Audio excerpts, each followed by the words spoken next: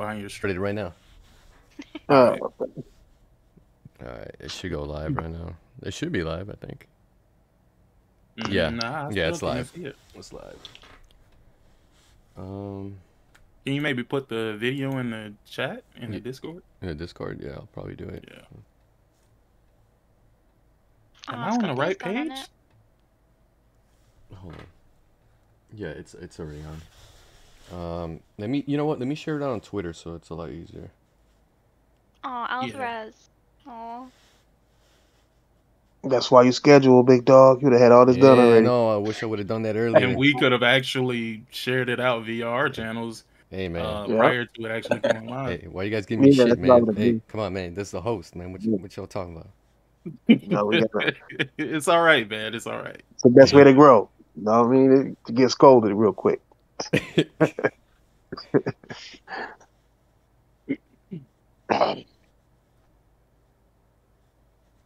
Um, Jake Rocket, man. I still gotta wait uh, for you to. Did you share it out on? No, I'm about. Twitter? I'm doing that right now. But you live already. Yeah, I'm alive. I don't give a shit what I. fuck You can't about find it either, huh? Yeah. I'm sitting here. I'm refreshing the page. I cannot find it. I don't know what is going You gotta, on. you gotta, you gotta put your fake voice on now. Hey, everybody! Uh, nice to meet you guys. We're here with Man, The legendary- fake voice. I don't have a fake voice, man. Shit. I'm just watching this playthrough on the screen.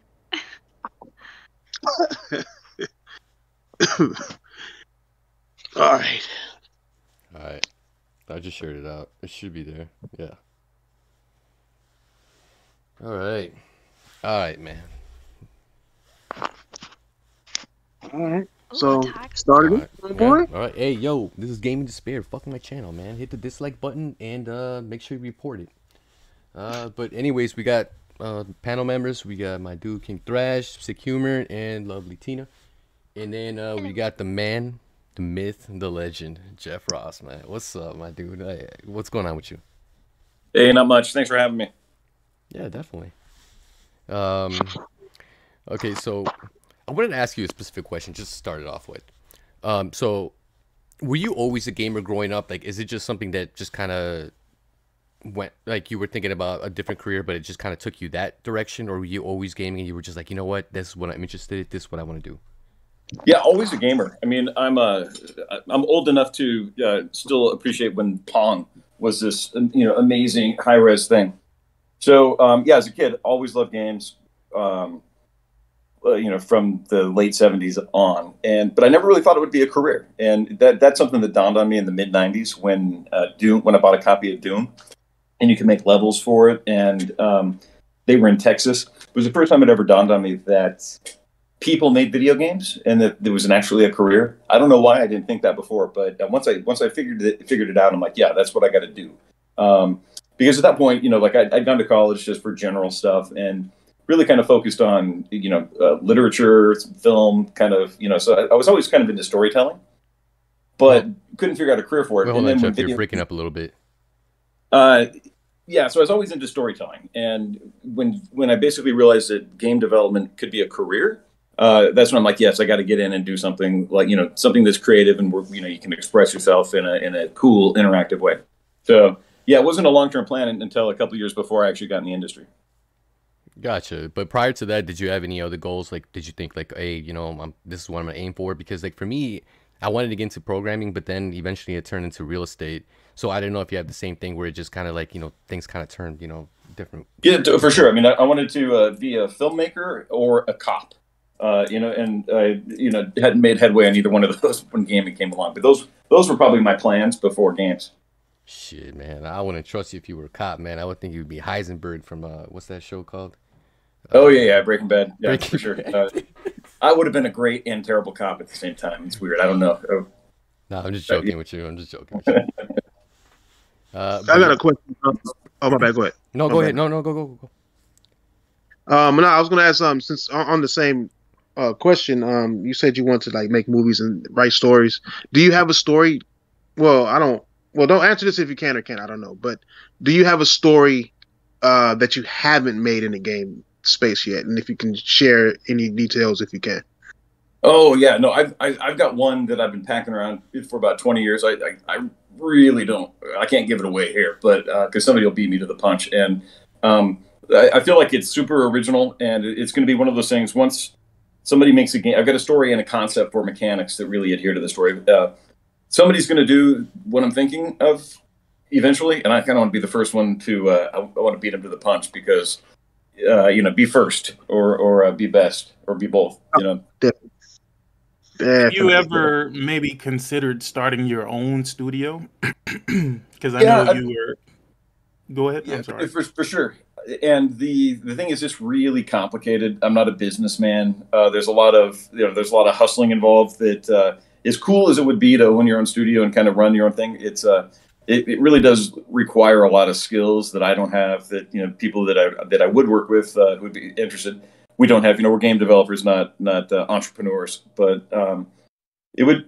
We thought about it. We've actually kind of taken steps, but then then backed out. So it's a I, you know, ultimately, really, what I want is uh, it's just a place to make a game where I can help set the vision and, and set how we make it. So I, I don't need to own my own company to do that. Tell you the biggest thing that I see in game development nowadays is is lack of creativity, man. Everything seems like um, a, a carbon copy of something else, and and I get it. You know, like ideas in in the gaming industry, they're they're they're not infinite, right? Um, are you the the next thing that you work on? Do you feel like you're going to be pushing the boundary uh, the boundaries of creativity?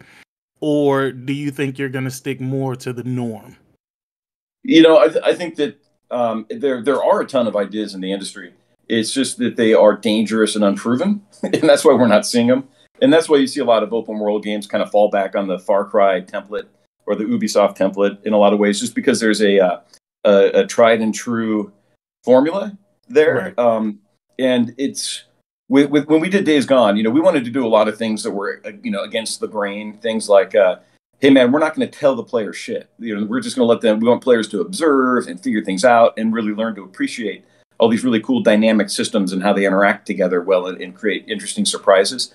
Um, and even you know even loading tips or tutorials were, were things we didn't want to just we don't hit the player over the head with things that we kind of felt that they already knew as well. Like, hey, here's your mini map. Use it to find your next thing. So um, what what happens is you put your game through user testing and you have a bunch of people stuck on on these regular issues and you know where they just need you, you know you have to dumb the game down in a lot of ways the more mass market you want to go so um, yeah and just then i think the more expensive the game the, the less risk that a publisher is willing to to incur Right. No, you you just asked a significant question, man. I always wondered if you guys made games a certain way because you felt like we wouldn't be able to um, you know, kind of make it through those particular games if you, you know, kept it at, you know, such a difficult level. And me personally, man, I've enjoyed the games that really don't hold your hand. You know, like the Demon Souls, the the the Dark Souls series, uh, any from software game, period. right right Um, yeah you know it, but that's their jam is is you know their Right. audience is coming looking for that when you're you're playing the next open world game from sony you know people kind of want some they want to kind of have some framework that they understand and they're comfortable with and I, and I think ideally what you know the, the, best situation for a developer to be in is like okay figure out the 80% that that is going to be you know the standard the conventions but then find a way to really be radically creative within that final 20% in a way that doesn't uh, doesn't kind of turn gamers off or scare them away uh, because they've got that 80% that they're familiar with. So I, I think that there is possibility for innovation and whatever that remainder is. Is that the reason why a lot of developers are getting rid of like difficulty trophies? Like, like, you know, I- think that's tied to accessibility. Um, you know, the Last of Us 2, I think, was the first one that really kind of, I think, was the game changer for that, where uh, Naughty Dog notoriously has these really hard trophies. And they require multiple playthroughs. You know, with Uncharted 4, I think there are speed runs. Like, it's just, they're, they're, they're ridiculously challenging. And uh, with The Last of Us 2, no, it, it, they basically they, they didn't have the speed run. I, I I can't remember if you had to do multiple difficulties, but to me, what, what I thought was kind of like the the sea change was when they their accessibility options let you override a number of, of difficult difficulty elements like the you know the the flankability you know, how much an AI would flank well, you could tune their their uh, reaction times from from the sliders So it was really fascinating to me because I think what we're doing as a is an industry is we're going to move away from basically uh, difficulty as a is a tuning knob for different experiences. You know, because right now story mode is always just easier. Um, some games can come along and say, "Hey, yeah, man, like there's no open world in this story mode. Like this is just going to go from mission to mission, or it's going to, um, you know, it's just going to take it really easy on the player and help guide them to the next mission." Um, I think that that's what games are going to start doing because I think difficulty and challenge are they're counter to some very positive principles, like like uh, embracing games for everybody. Gotcha. And you know what? Um, I wanted to ask a quick question. Um, for those people that don't know what a game director, you know, does, right? Like, do you pretty much just oversee what's going on, you know, with the whole company? And if people get out of line, you just kick their ass and shit. Uh, like, like, what do you do exactly as a game director? Well, it's, it's different from company to company, and uh, you know, for us at, at Bend, really, you know, is you know, I was game director, but we had John Garvin as the creative director, and, and it was you know he was co-studio director. It was like it was his baby. Um, I actually wasn't even promoted to game director until about three years in, and then we moved the design team out from under creative, and it, it became its own thing. But um, the the best metaphor I can use is, uh, you know, the creative director is the architect of the experience whereas the game director is like the, the contractor the guy who's going to go off and build it. And you know obviously the game director has some agency you know he's got ideas that he's feeding into it but really um, it's it's the guy who's building and fin- you know finishing and shipping the game and, and trying to be a representative for the for the for the player. And that's how so that's how it was for bend. I'm not quite sure how it is everywhere else. Okay, I got a question. Um, you you you you game right? You you actually game or do you just make games? oh i get Nah, he game. He game. Oh, you game. Uh, what what's your um? Well, I don't know if you give out your your gamer tag or anything like that, but I just will always ask, what's the origin? Because like you know, gamers we have a lot of uh you know feel for the the names that we choose in our in our in our gaming space. And um, do you have an alias on on your gaming space, and do you, does it have a history or a uh, or a, a rhyme or reason for why it exists? Yeah, well, my, my gamer tag is pretty easy to figure out. And, um, you know, one of the things I say about my Twitter handle is that, you know, Jake Rocket uh, was a comic that I was a, just a comic strip I was writing and drawing in college. And I can't even draw, but I'm like, I want to make a comic. Like, I want to start writing comics. And so I don't know how I came up with that combination of words, Jake Rocket, uh, but I think I think it was because of my initials. And um, years later, when I was doing a lot of online gaming, you know, you, you know, you, it was just really tough to find a Jeff Ross variation that wasn't taken. So Jake Rocket's generally pretty wide open on anything. So that's just uh, it's been my uh, it's been my handle for years. You know, um, you know, on Twitter, you know, in social media, but also in gaming. You know, when you needed before before you had an account with trophies, just when, when you needed a name while playing Quake, it was it's been Jake Rocket because it's just like my initials and it's kind of close to my name. So it's as simple as that. Yeah, similar to mine. Mine is King Thrash, and my last name is actually Thrash. Nice. So I just put King in front of it because King, you know, what I mean, it's self descriptive, self descriptive. but um, I want to ask, um, in today's gaming space, in this new generation, have you seen something that just blown you away yet? Like, and I'm not talking about stuff that's not out yet. I'm talking about stuff that did come out, like Horizon, Halo, Ratchet and Clank. Like, has have any of those games blown you away, or do you see this generation growing into something bigger than what we see now? Yeah, uh, all those games, as a matter of fact, are, are very impressive and great on their own. And and I will say that we are running the risk of not appreciating what's in front of us. When, when you look at how just how glorious and visually spectacular, you know, the, the latest Ratchet and Clank is, or uh, just how you know brilliant the core design of Returnal is. Uh, you know, all these things are we're, getting hit with a lot of great uh, games. It's like the golden age of gaming right now, and uh, we may not have. We all may be so jaded that we're not appreciating what's there. So, um, what I would definitely say, because I just played, started playing Halo, and I'm like, yeah, this Halo open world. You know, it's it's fun, but it's not as impressive as it would have been ten years ago for some reason, just because there's so many other games out there that are doing some very similar things. So I would say that where people, where games are really impressing me are on you know like the Last of Us Two. Last of Us Two, the storytelling risks that they're taking um, were to me fascinating and and great choices. I know that they're controversial, but um, I don't think I've ever played a more cinematic game uh, where you knew the stakes. You know, you you had these conflicted emotions about each character that you're playing. Uh, you know, at the same time, you're traveling through when you're playing as Abby. Sorry for spoilers. And, and you're traveling through the world and, and going through a, a, morgue with all the bodies that you killed as Ellie in the first part of the game. It's just, uh, you know, I think that um, obviously the the animations and the graphics and everything's super top notch, uh, but the storytelling, it, it's just the choices that they're making are uh, are what are really setting them apart, and they're doing it boldly. Definitely you know, agree with them it's it's crazy. I've talked to so many developers in my life, and I'm gonna be honest with you, Jeff. You might be one of the the the more I want to say authentic, but then again, I think the word genuine really like like hits home. I feel like when you're talking, no matter what it is that you're saying, that you actually believe the stuff that you're saying. Whereas I've talked to other people and it's like dude, you don't really feel this way. So I, I, applaud you for that, man. I, I, really do.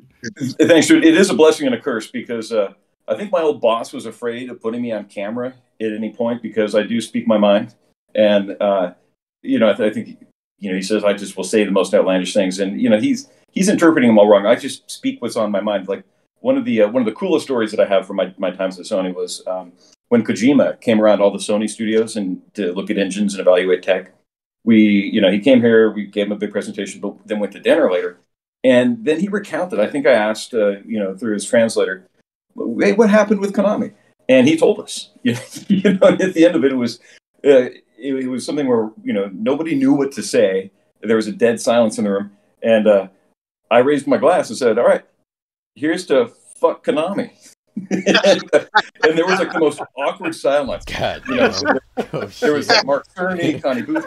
They're all looking around, and then and then Kojima started laughing and saying "fuck Konami" or somebody somebody was saying that, but like I got the laughs from the people that I needed to. But uh, that was a close call. But it was just the, so it's a blessing and a curse because sometimes not having a filter that could have gone either way.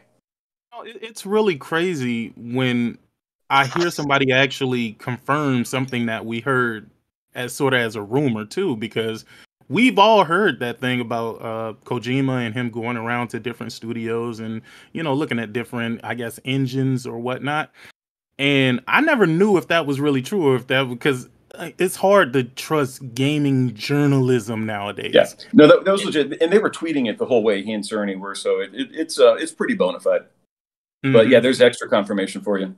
Gotcha. You you guys use what what engine did you use for um uh Days Gone? Was it Unreal Engine? Yeah, Unreal 4. Yeah. Let me ask you a question. And you can choose not to answer this or not. Do you think Days Gone just performance wise would have turned out better with the newer Unreal Engine 5 or was it not the limitations of the engine that may have caused you guys, you know, some performance issues? You know, it's, it's hard to say. They're making a lot of strides with Unreal 5 and, and it, they're tailoring it towards open world. I've actually worked with it a little bit and it's pretty slick. Mm-hmm. Um, Unreal 4, definitely, there weren't a lot of open world games that came out on that. It was, it was a challenge. So I, I wouldn't lay it all at, at, the engine level. I mean, I think that the, uh, the problem that we ran into was, um, not a lot of people understand how it works. You know, deep down, if, if, if it's an engine that you own internally, your engineers understand it from the kernel up. Like they understand every aspect of it, what the performance implications of every single thing are. With Unreal, there's there are a lot of tools. There's some profiling tools, but um, nobody really has a strong command of the inner guts and working of it. At least you know, uh, at least we didn't. And I don't think a lot of developers. I don't. I don't think it's something that's that's not a bad thing. I think that's just a normal thing because it is such a complex monolithic engine that it comes with a lot of things that you just have to you have to understand whether you're using them or not. So you know maybe it would have performed better, but um, uh, it, I don't know. I, I just think that um, uh, it wasn't Unreal Four necessarily. It was just the first open, the first big open world game that really kind of came out and, and, and pushed it to the best of my knowledge. You know, I want to ask you one more question, and then I'm going to shut up and let everybody else ask whatever their questions are you might be able to answer this or you might not be able to answer this and this is nothing legally wise or anything like that but i'm i'm just curious to know when I played Days Gone, I had absolutely no issues with the game until that 1.06 patch came out and just kind of I don't know what happened. It just it, it started making the game unplayable for me. But how how is it that even in the console world where there's only maybe one or two SKUs that you guys have to work on, that everybody seems to be experiencing totally different things. Cause I was like telling people, like, dude, I streamed this entire game, bro. I didn't have any issues with this game. But then there was other people like, yo, this game never worked from the beginning. And I'm like, whoa, no, something is wrong there. Is that something that you can explain away, or is that maybe on the, the, the engineering level? The, the best way that I could explain it away is you all saw that scene from Jurassic Park where uh, Jeff Goldblum explains chaos by dropping the putting the drop of water on his hand and explaining about all the variables in play, the wind, the temperature, the hair follicles, how that leads to chaos. That I, so I'm simplifying things obviously, but um, it even though it is a, a, a locked target, there's still variability in in SKUs. You know, there's some there's some variability there's variability in the age of the hardware. You know, if you're if you're playing something on a on an old PS4, uh, you know, like you might you might be prone to um, some performance issues. Like it may not have the uh, the you know it may not be the hard drive might not have the same. Yeah, I can't explain the technical part of it, but basically there is variability in the same hardware just by age. And I know that when Naughty Dog was shipping Uncharted 3, I read about this that um, they were testing on newer PlayStation 3 models and then once they started doing broader testing, they realized that they had huge streaming problems, and it was because once it once it got on older PS3s at the time, so they really had to kind of go through and kind of you know kind of reconfigure their game to kind of to, to take care of that. So you are right; it should be a target, you know, single SKU or single target. Uh, it, with Sony being PS4 Pro, PS4, PS5, that's obviously challenged, but it's certainly an easier problem than PC developers or, or developers on a multitude of targets. But ultimately, it comes down to complexity of software is just getting um, crazier and crazier. These games, um, they're they're doing a lot, uh, and it's tough to anticipate the way everything will interact with one another. And um, yeah, people when they have bugs, it seems like you know if, if you're if you're prone to having bugs with like our game, you're gonna have a lot of, of bugs. And if you're not, you know if it's running well, it's probably gonna run well. And then um, and then there's also just the people who turned off their console between play sessions uh, had far better experience than people that put it in, into sleep mode, which is too bad. Man, I did like 12, 13 hour sessions, man. I'm not going to even lie to you. I was so lost in this world. That's why I was kind of let down when I heard that there wouldn't be a Days Gone too. Um, hopefully that changes in the future, but man, I that that was a real letdown for me. Um, yeah, especially gosh, was... um, especially with the secret ending at the end and you yep. saw yeah, one of the creatures. Uh, I was like, man, where's this series gonna fucking head to? I want to see what the fuck next, you know, the next Days Gone to is, and then all of a sudden I'm like, ah, no, what the hell? Jeff Ross is leaving, and now fucking no Days Gone to some bullshit. So Jeff, can I ask you one more question? And I know I just said last time that it would oh, be one ahead, more man. question. That's all you want, dude. One more question, man. Um, how do you feel? And and again, this is just a personal opinion. I'm not trying to get you to say anything crazy towards like Sony or anything like that. But how do you feel about Days Gone going to PC? And if it was up to you, would you have done that while you were, you know, at at Sony Bend at that time if you could make that decision? Did it come to did it come as a surprise to you? And do you think that that's beneficial to uh, PlayStation overall? Because I got some some some words to say about that, and I don't really feel that great about stuff like that going to PC. But I can most certainly understand why they would. But I guess my question to you is: Would you have made that decision if it was up to you? Uh, yeah, no. As a matter of fact, I was there when that decision was made, and I was part of it. So, um, so that answers the next part of the question, which is I'm I'm all for it. I mean, I think that um, as a developer who's made games on dead hardware now, um, mm-hmm. You know, it, it's you know like the Vita. You, uh, you know, it's like nobody's going to at a certain point, all Vitas are going to stop working, and then Golden Abyss will not. Nobody will be able to play it. I mean, I think there might be emulators, but um, I, I, think it's good just so games can be. Uh, you know, I think if you build something, you want a large audience. You want as many people to play it as possible. So finding a secondary market for it, um, I, I, think is a good thing. Um, now it's not for me because uh, I'm my muscle memory is so baked into that controller playing Days Gone for thousands thousands of hours probably. That when I try to play it on a keyboard, I just I lose it. But there are people out there that are you know keyboard and mouse all the way, and they make it work. So um, it's not quite the same experience for me, just based on that. I mean, I have I could plug in a controller, but um, no, I think it's a good thing. It, it's a good thing for developers to make a little extra money. For the people who just can't find, or you know, they, they don't want to buy PS4, or they want they they've got a PS4, PS5, but they also love the high end graphic configuration. It's a good, it's a net good thing for everybody. I think some of the fear that people had about you know PlayStation game going to PC was like the whole day and date thing because some of us were thinking that maybe it could sacrifice the quality of like how PlayStation games are. You know, we we thought that maybe probably the proper idea would be to fully develop a game on on the new PlayStation hardware and then you know focus on you know PC later afterwards. Absolutely, I think that you know being if it were if it were day one, that would be weird. Uh, if it was out at the same time, you know, because we are here to sell PlayStations, and you know, so but releasing it at some period later, you know, movies do this. They you know they they run in theaters, but then they have DVD and cable and direct, you know, uh, uh, you know, basically video on demand deals. Those are all revenue channels for for the developers, and I think it's it's good for business. It's good for the team. It's good for you know it's good for people who want to play this game who just don't have the primary hardware. But but day one would be a game changer. That would that would kind of break things in in, in my book.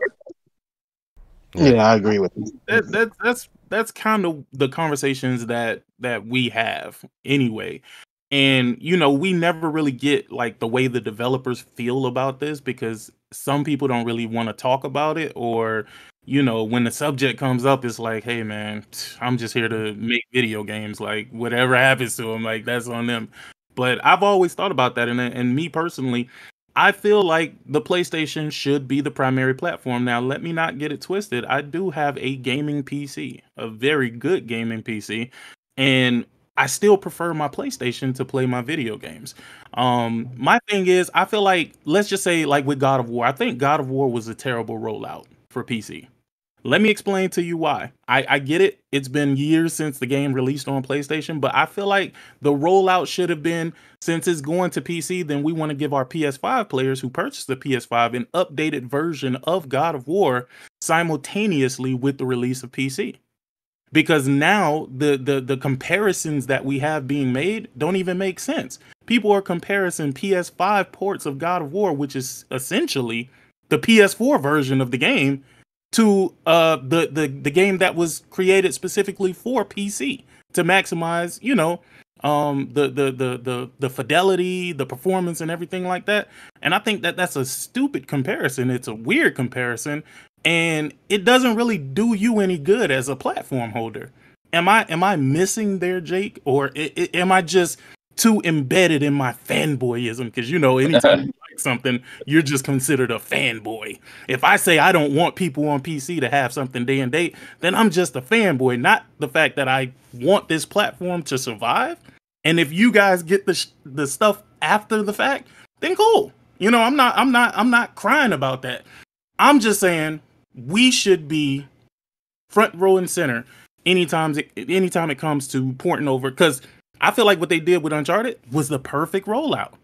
Yes, we're releasing Uncharted 4 and Lost Legacy on PC, but let's make sure we get our PlayStation 5 owners.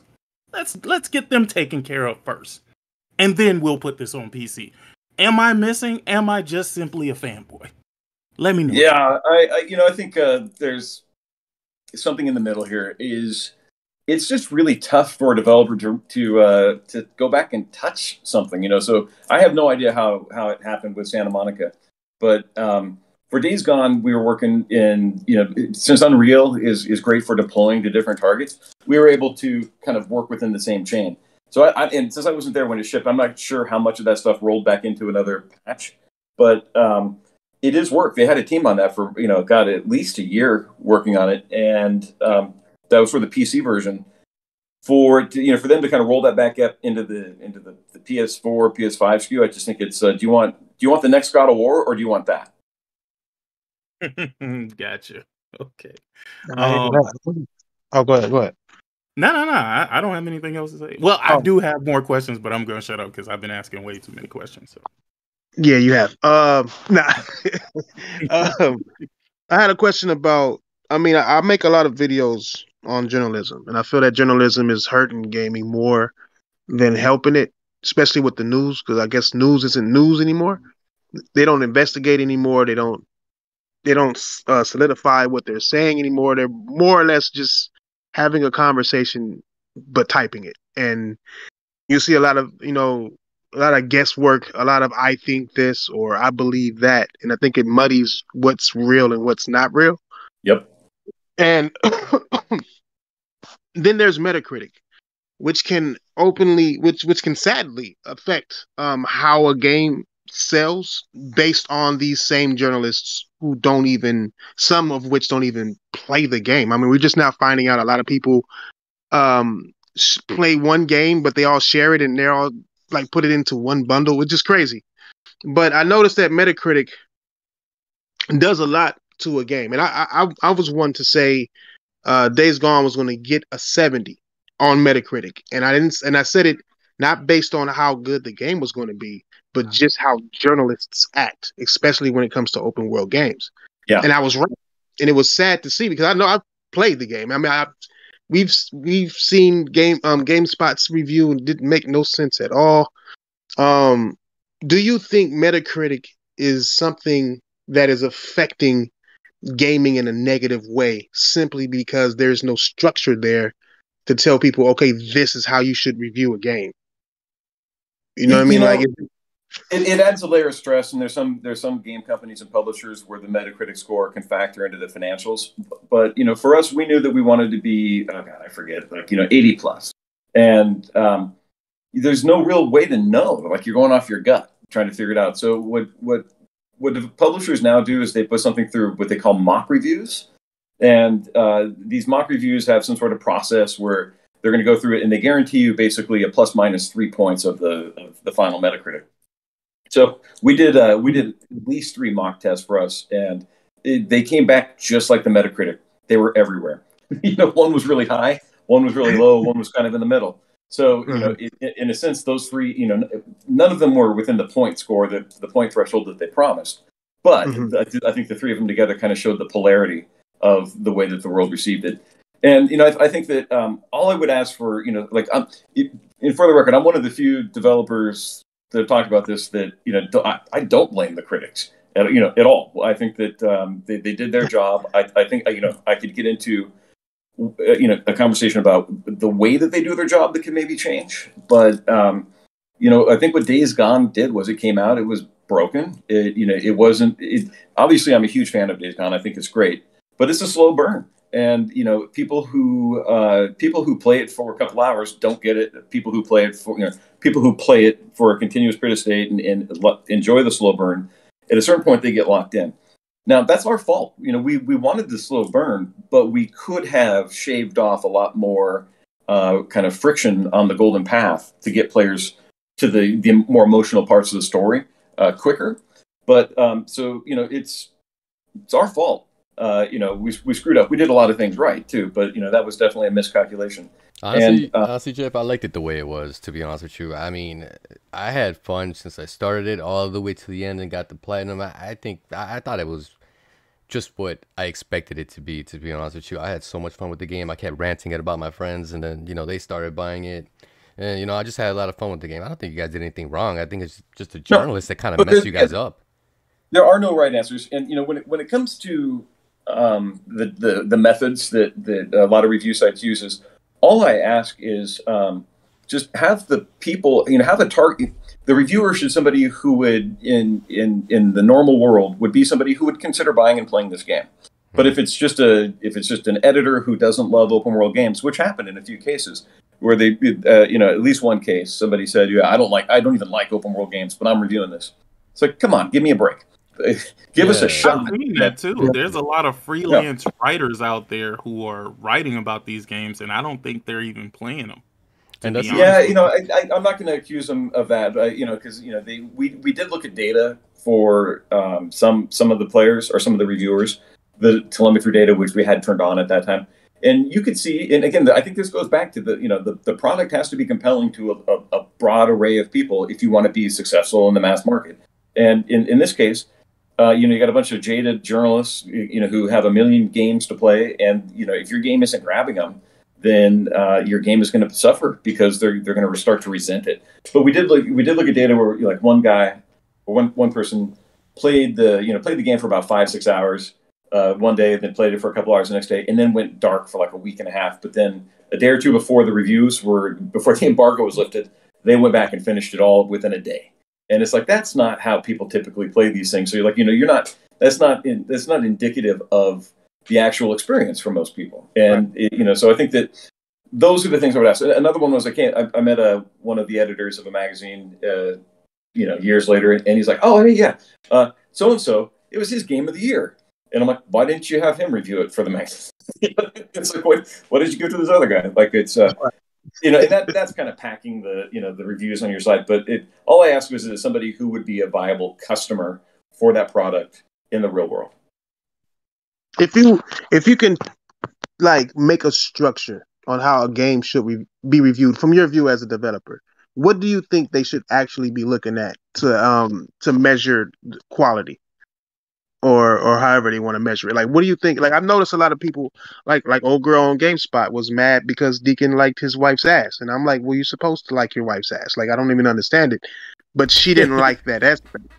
I don't believe that should even be in a review. That's your own personal thoughts on what you think this man should have said to this woman, regard rather than you know how how many enemies were on screen or how many, you know, the the, the combat tree or whatever. Like you know things that are actually for the game um, is there a structure that you think that there should be, or, or is it something that people should look at when doing reviews, or or is it fine how it is? Yeah, I, I, think the, the reason why you have a multitude of reviews is for a broad range of subjective takes on something. So, um, you know, you go back and look at literature today that we that we that people will say this is a classic. Uh, so you, I'll pull up a Hemingway.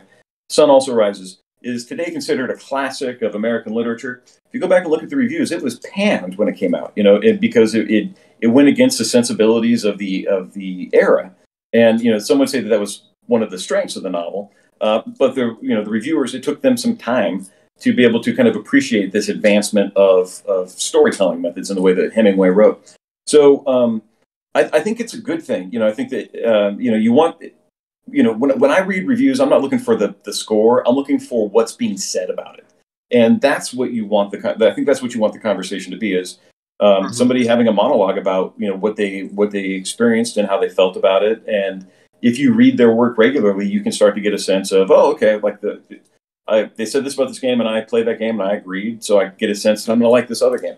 But the straight up and down, like a Siskel and Ebert, you know, that's not that's not a good system. It's the content of what they're saying that I think people, the you know, should be looking at. But now, having said that, uh, most people just look at the score, and you know, so in, in, in, that regard, it that's where it starts to get uncool. But if it was just a structured uh, list of technical merit and polish and fun, like you know, there's you you don't need that many reviewers for that. Um, so again, I just wish the reviewers themselves were you know they should always be somebody who is likely to be a fan of the game and and appreciate. I think this is one question that they should ask is what is this game trying to achieve? What are they what are they marketing to people? And let's go test that question and see if they're delivering on it. Because um, you know if uh, if you play Last of Us Two, one of the best games I've ever played. What if I started that up and said, "Man, I, you know, I want to play a white dude. Uh, you know, I want to play an old biker white guy. How come I don't have that? This game sucks." you know that's when when the discourse gets to that level is when i think it is, is when you know we're off in in, in, in the wrong place. Right. That's, yeah i believe kind of, i'm sorry go ahead. you know no, it, that reminds me of that one journalist ended up saying why all the freakers were white.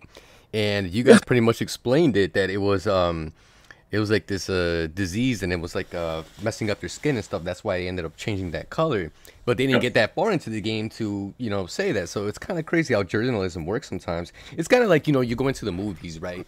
And you're watching, let's just say, Spider Man uh, No Way Home, right? You only watch it for 30 minutes. You're like, oh, I got the gist of it. I'm going to write a review about it and just fucking walk out the theater. It's some right. bullshit. Right. Oh, Sorry, was there a question? What? Wait, hold on. You guys didn't hear me? Nah, you no, were breaking up a little bit. Oh no, no, I was gonna say uh, Thrash. Uh, you had a question. Oh no, no, it was sick. Sick was sick was gonna say something. Go ahead, go ahead. Sick. What was your, what was the question you was gonna ask on it? Well, it, it's not necessarily a statement. I mean, uh, it's not necessarily a question, but more of a statement. I mean, you know, some of these, I personally don't take Metacritic serious at all. I don't use it in any form or fashion when I'm choosing to purchase whatever I purchase, because it, it seems like it, it seems more like people are moving with agendas than anything. It's like, oh, well, you didn't include this, so no, this is a this is a six or this is a this is a five because you didn't include something that they believe should be included, and it's it, it's getting kind of weird because now you as a creative, I have to ask like, how do y'all even form the game that you want to make? Because at this point, it's like, yo, we got to start checking off some boxes. You know, like uh, we got to have at least uh one trans character or one gay character or one black character you know and it, it's it, it it seems more like things would be forced than anything. I understand inclusion but come on man. I'm black. I never wake up and be like yo man this this video game character why isn't he black? Try to appreciate the game for what it is. Yeah And I- no, that, that, that's that's the gist of it. Is if it's you know it's a story about somebody, and it, it's pointless to discuss the things that that that character is not, because that's clearly not a choice that was made. So uh, yeah, no, it when when it becomes an agenda that's out of left field, that's one thing. But um, I think the worst case is if a game if a game sets out to you know somehow be I don't even know how they would say this, but like wants to be the most progressive game on the planet and wants everybody to be able to play and nobody, you know, wants everybody to have fun and you know, uh, mechanical fun, but also interactive fun and story fun. You know, so if that's what a game sets out to do, and then it's just filled with uh, angry white guys from from Central Oregon and bikers, it's failing at its mission. So I think that you know, I think that you have to make these choices based on the higher level story that you're trying to tell, whatever that whatever that agenda is or objective is things have to kind of flow out of it and you know I, I, don't think that they're generally a random series of choices they're choice you know they're they're they're integrated into a larger idea. But when people take issue with that idea and then apply that to the whole game that, that that's when you kind of get into a tailspin as far as kind of you know what are we talking about? Are we talking about the game or are we talking about something else? Yeah like the personal politics is is stupid to me man. Like I uh, again, I get the whole everybody wants to be included thing, but if you're gonna make a game based on like I don't know inner city urban areas, then okay, that's what the game is gonna be about. Right, right. But I'm not gonna be sitting up here like, well, well, why isn't there many white people in this particular game? Like, I just don't even understand the concept of how you can judge a game and be like, oh man, another game with another gruff white male. And I'm just like, come on, dog. Like, is this really what we about to do, man? Like, come on, man. Like, what are we talking about? I seen somebody say about God of War, the PC version, talking about he's not loving enough. I'm like, what the hell are you talking about? Like, do you not know who Kratos is? Kratos is the god of what? What is you talking about? He's not loving enough. And then I went down that reviewers list of reviews, and I realized this is a game she should have never reviewed. These aren't even the type of games that she play. So that's yeah. unfair to you guys, the developers, that totally your agree. game is getting to getting into the hands of somebody who want to play Animal Crossing, but you got violence in your game. So automatically that's gonna go against what they actually like. You know what I mean? Yeah, like you preach to the choir, dude. Uh, and that's why I said, you know, you got to be a fan of open worlds if you're going to play the open world zombie game. You can't be on the record for hating open world games. That's just not a good start.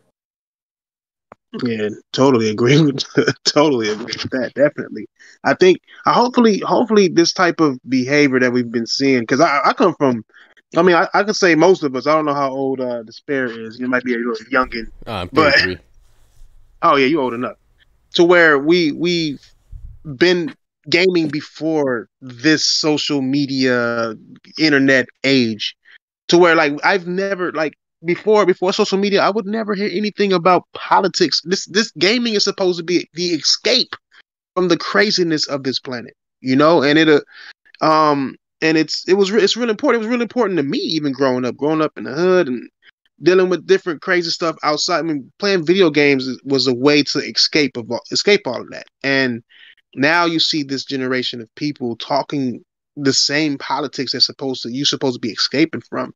Um, I I see gaming as ones and zeros. I see gaming gaming as fictional. I see gaming as art most of all. And you can't tell an artist how to draw. You know what I mean? You gotta let an artist do his work, his or her work, the way they, they want it to be done. But to nitpick and say, "Oh, Ellie's, Ellie's kissing on Dina, oh my God," or "Oh my God, Joel died." Yet, how about you pay attention to what the message is in the game? Pay attention to what this game is about, Yep. uh, and enjoy it. You know, you're you're forcing yourself to not enjoy gaming by walking in with a political mind. You're not even supposed to walk into gaming. Imagine playing Pac-Man with a political mind, like God, these fucking ghosts are blue. You know, like it's just I, I can't I can't understand today's gamers now. But I can't even call them gamers to be honest, man. I just I just or Mario. We we played as an Italian plumber for years, and nobody was like, "Yo, why Yeah. is this guy not black? Yeah. Or, Another or why is he not Italian. Chinese?"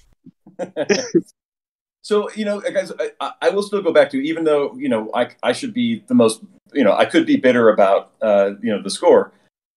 Everything you talked about, film, art, literature, it's all highly subjective, and everything in its era. I mean, there's obviously clear cut, you know, uh, darling, critical darlings. But you know, Andy Warhol, go back and look at some. You know, if you can find them, go back and read some contemporary reviews for when he was just starting out. People are probably saying, "What the fuck is this stuff this guy's making?" Like, there's the the Hemingway example I talk about, probably F. Scott Fitzgerald. Like people don't appreciate these books at the time, and that's part of the discourse. You know, the, the discourse is about how how uh, you know those you know that art those or those books are actually changing and evolving society and culture and the way the books are written. But it's often very difficult for for uh, the reviewers to appreciate them in their time and in their in in the moment. So I think that I don't think you can change that. I don't think that you should. Otherwise, we wouldn't need 40 different reviews of a game. You know, like it, the the subjectivity is the thing. Like we covered earlier, I just think it's got to be they got to set you up for the best possible reception, uh, and then let you and then let you uh, destroy your score, not let them just you know not lose 20 points just because you gave it to the wrong reviewer. Mhm.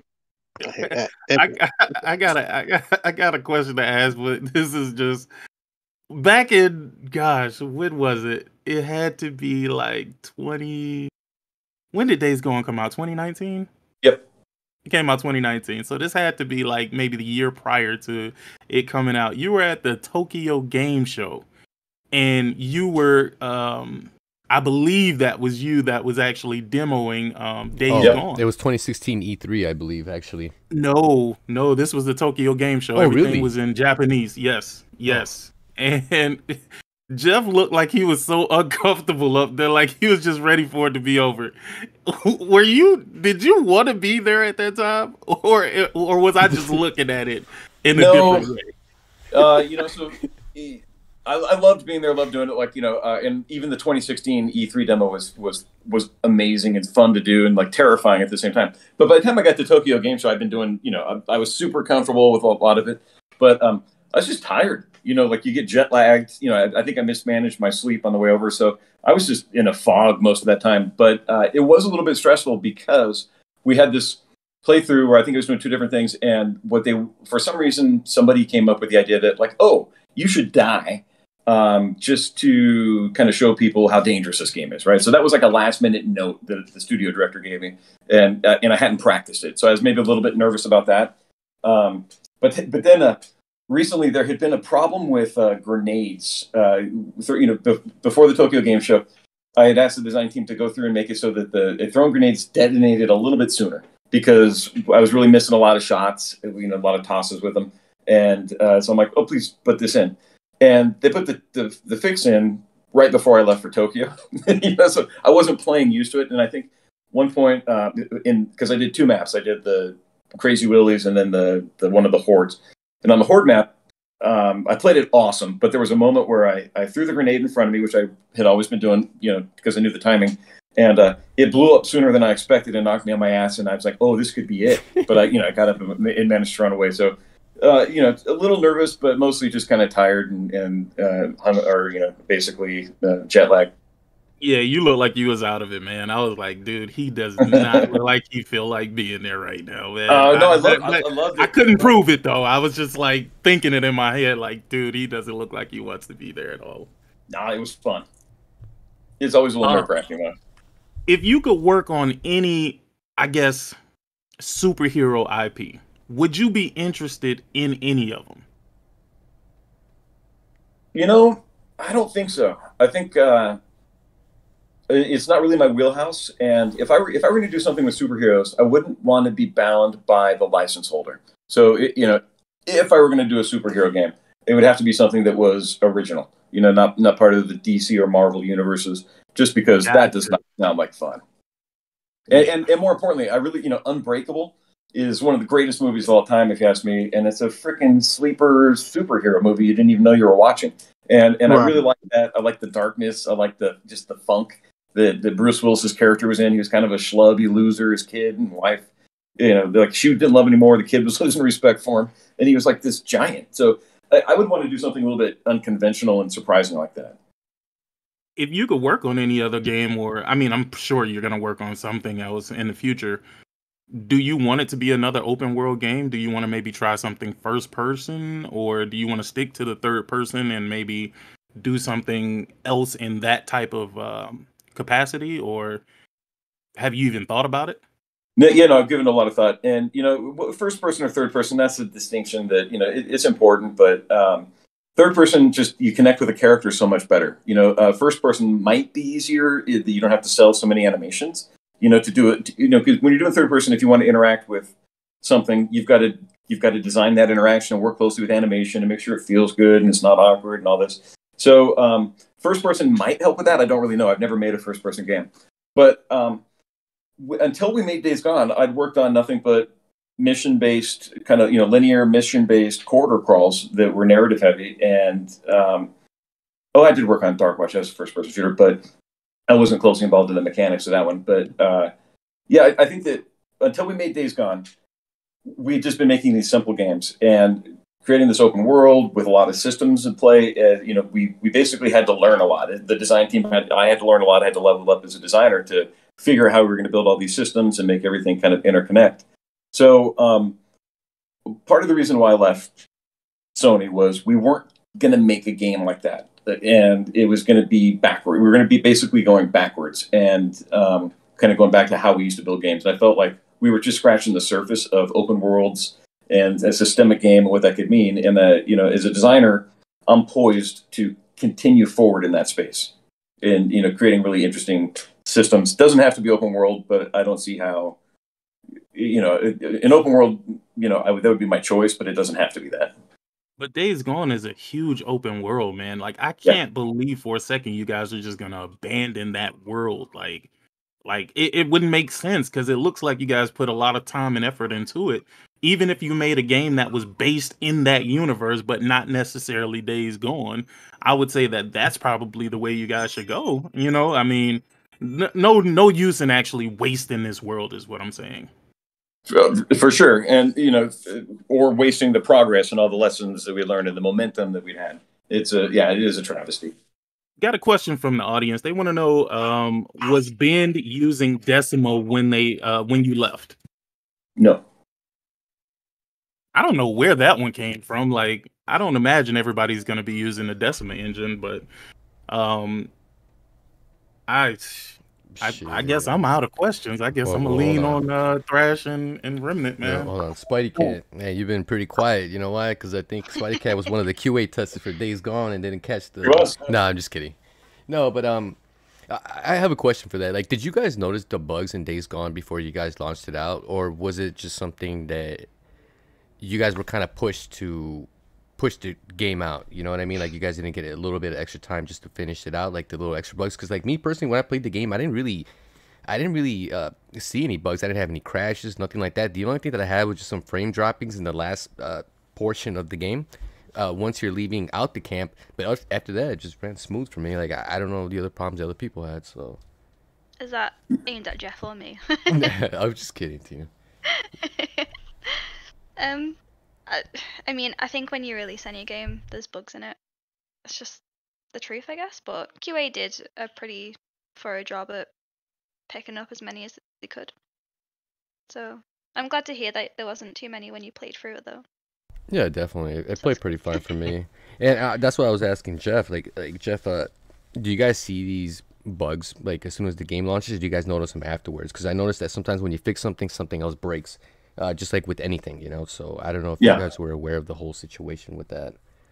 Well, you, you know, the bugs themselves, I think that we'd seen, you know, here or there, but going on such a large scale with with the audiences they're playing it, you're just, you know, basically all the edge cases are getting, uh, you know, more opportunities to emerge, and um, you know, I, I will say that it was surprising how some how shitty some experiences were for people. Like, you know, that that never surfaced within my within my sphere of of influence of the studio. Um, you know, and you asked earlier, kind of like why, you know, why we have uh, basically dev kits and all this, and how we're you know we're, we're on a standard we target hardware. All, all true, and kind of part of that is the and Christina could probably speak to this a little bit more, but there's uh, there's QA, but then there's third party within inside the, the publisher and the platform holder because you know um, theoretically they, it's a it's a walled garden and everything that goes on there gets uh, is, is sanctioned or approved and it has to go through this third party channel where they're kind of they're they're objective. You can't say hey buddy we work for the same company. Please just let this slide. So there it's very rigid rules. And you know as a designer one of the things that i was under the most pressure for was uh, our trophies better work? You know because if, if in this one trophy because there's the, the big the big final week of what they call format uh, you know the final format qa and you have to pass that or you're not coming out and if you are on day five of seven and something comes up, they will kick you out. You have to fix a bug and you have to resubmit and then rewait the whole week. So, um, you know, for trophies, we, that's why we simplified them, just to kind of make sure that they weren't these big, long, you know, kind of grinds you had to do that would take format QA longer than a week to test. And I, that ultimately worked out best for the player, by the way. I But, appreciate um, that. Yeah, I'm no, same here. Same here. that right now. You know, but it- with, with that, without that kind of threat hanging over me, you know, we might have leaned into some kind of tougher trophies. So that that did that was I'm I'm glad we didn't. So um, yeah, you know, I said we saw these bugs, the you know the but not on the scale and severity that they wound up being. You know, and if if um, format if the company had detected it, they would have shut it down. So um, because you can't really, you know, you get you get some affordances or some kind of allotments of okay, you can you can uh, a certain bug might be worth five points, another bug might be worth one or two, or but it, past a certain point threshold, you're kicked out, and you have to start. You have to basically fix it and then resubmit it. And it's genuinely like QA anywhere else you work. I see. I got a um, oh, go ahead. Go ahead. Go ahead. I got I got a question. It's a little deep, so if you can't answer it, I understand completely. It's just always been on my mind seeing how gaming is going. Um traditional way of making games is um correct me if I'm wrong, it's to get gamers to buy games or sell to sell units. And the way you do that is to to attract gamers to it. And like you said earlier, it's um games are getting easier because it opens the uh it, opens to a broader audience. In mainstream gaming, um you know there's just some gamers who just will not play a game because if they if they feel it's too hard right um but that's for developers making games towards gamers. But let's say that the world turns into this streaming world. I don't i don't think a lot of gamers really care for it but to where all games are streamed and delivered through the service provider. Will that affect the quality of a game if a developer is making a game based on trying to sell the game to the service provider and getting money from the service provider um if everything was streamed and let the service provider worry about getting their subscriptions over what it is today to where um games are being developed developed to sell per unit and to get that per unit sale it has to be attractive to the gamer if i said that right Yeah, interesting question. And you know, if if I understand it properly um, I, I guess the only you know my my take on this is, um, yeah, it would change in some way. Would it would it negate the value of this this title on other platforms later? I don't know. It depends on on the choices they are making. But um, I think we can we can watch this trend play out in real time over the next couple of years um, with with Game Pass because there you know there is the promise of hey man we don't even we, you know we're not even selling units anymore we're just we need to be another bit of content on this thing that's going to you know promise people up to 50 hours of play if they want it um, of course we want it to be good but like I, I i really do wonder if that's going to how that's going to impact the choices we make because you you may not if you're not worried about sales, maybe you can make some of those more obscure, dangerous choices where you're trying to you're trying to be a little a uh, little uh, kind of less conventional, and um, that might be the space to do it. And it could you know I think that it could be a good thing for it, you know for that type of uh, risk taking. Um, and you know I don't know. I think we just have to watch it play out. But I think that I think it could be a good thing if if if uh, developers weren't so worried about sales. You know, they're, they're going to have to worry about engagement on some level. But I think it's the risk is gone when it's basically free for for gamers to try and, and get hooked on what you're doing. So I you know I don't know, but that's my prediction. Yeah, I got another yeah, question for you because I want to clear up. I, I just want to clear this up, and I want you to answer this as non PC as you can. Do developers care about people just simply playing their games? Now, when I say this, I know you want people to play your games, but you also want them to pay for it. Am I correct or am I wrong? Are you okay with people finding whatever way to play your game, even if it doesn't benefit you, the creator? Yeah, absolutely. Like, I said earlier, you know, for me, the objective is making games and having people play them and experience them. And yes, it's a business. We all need to get paid. But you know, if you're getting if you can't afford Days Gone full price and you wait for a discount, or if you get a secondhand copy, or you play a friend's, or you get it from Redbox, I don't care. I mean, those are all. I mean, that's the industry. That's the that's the business. It always has been for uh, for the most part. And um, no, it, it's all good, assuming that you know. Um, at a certain point, the developers do need to be profitable, and as long as it doesn't, or they're not going to be able to make another game. So as long as this doesn't get so rampant that it comes back, and, and the developers have, you know, they have uh, 10 million, you know, players, but they've only sold 1 million discs, then you know that that just doesn't hold up.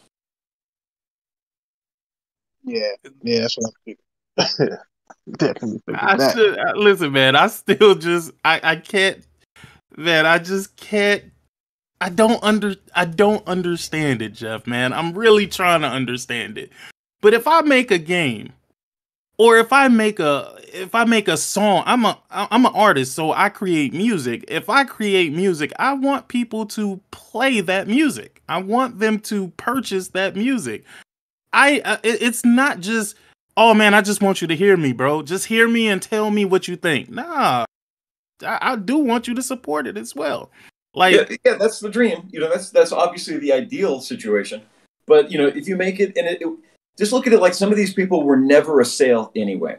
You know, they you know um, unless they could get it the way that they got it, um, they were never going to be able to appreciate it. And you know, especially for a game like Days Gone, where uh, when people play it for a period of time, they become locked in, engaged, and they become huge advocates for it. So I think that there, you know, there's, you know, hell, I don't even care if you pirate it from the Epic Game Store. You know, I mean, it's just like if you can pay for it, pay for it. If you absolutely can't, then then uh, you know find a way to play it. And you know if you can afford it and then you pirate it and you want to play it, then that's weird. you know those are the people that should be paying us off so we can make the next one. But um, no, man, I think that um, for for us, more more eyeballs, more people play, more people invested is better for the community. It's better for kind of getting this thing you know, kind of a, off the ground in the community and, and, and having people appreciate what it really is. They, they become advocates to bring other people into play.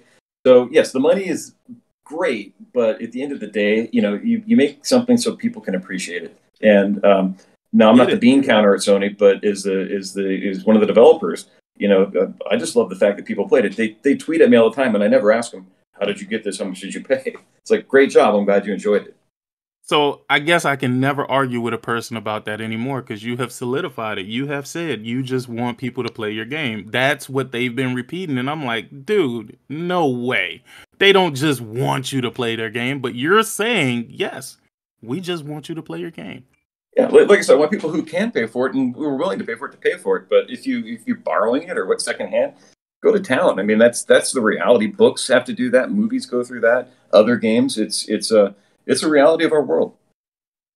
Okay, fair enough. Fair in enough. the streaming world, in the in the streaming world, that would kind of end though, right? But then that still wouldn't give a game to the developer. It just give a game to the to the service provider, right? Like like because it wouldn't be about units no more. So like like say you can't trade a, a, a subscription service. You know, like if you got a game and you're playing a game, you can't just give it to somebody else who doesn't have that Right. subscription Yep. service, like kind of like that.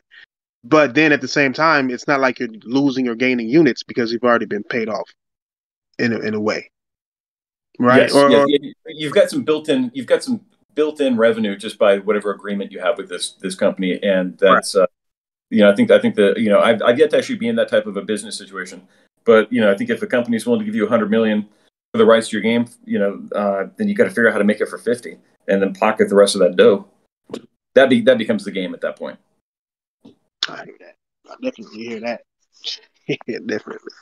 Um, nah, man, I, I I feel crazy about it, man, because I, I I I I like to get sequels to stuff that you know that I like, and I feel like people should support the content. But hey, if the people creating the content don't feel that way, then I who mean, am I? I mean, I'm the You same know way what I mean? too. Like Jeff, like you know, all of us here, like we we normally just pre-order games day one, and you know, if you enjoy the game, we talk about it. If you want a sequel, like you know, we would love to see that. But I just hate the shit that happened with Days Gone because it's really unfortunate. And um, Yeah, you know, it, it, it is, and like I said, you know, um, when I'm out here complaining that Days Gone didn't get a sequel, I know all I know all the facts, and you know, that go into it, and, and for the most part, and um, you know, we we made a great game, but it it it did fail to kind of speak to a larger, more diverse audience than it did, and you know, that, that's those are unforced developer errors, and uh, you know, it would have been, great to get a sequel, but I I, I get it. Um, if if I was in charge of Sony and you said, what would you rather have the next Last of Us or the next Days Gone, I'd be like, well, uh, you know, Days Gone. But really, from a business point of view, Last of Us is just you know it makes so much more sense, and I think that that's it. I mean, we're we're a lot like Last of Us, and um, you know that that's on us too. Although for the you know for the sequel, my my hope was that we were actually going to kind of push it into a different space. Uh, you know, knowing that we wound up a lot like uh, you know aesthetically like Last of Us. I'm like, okay, well, Deacon's got this great kind of. He's been injecting himself with this shit. Like we're kind of sci-fi, a little bit uh, crazy already. And then we had that stuff with O'Brien. I'm like, we can push towards a little bit more of the uh, kind of sci-fi aspect of this, and maybe uh, push the world into you know like. Whereas Last of Us was, you know, the world was becoming more and more decayed. Um, my future plans for this were to kind of make it like, no, this this is a society that can still be repaired, and that becomes part of the the challenge that's going on. Uh, so I don't know. At the end of the day, it you know it makes sense why there isn't one. It is frustrating for for me and for you know a lot of the fans, but um, it's a business and there's a lot, it's a lot of money. It takes a lot of money to make games these days.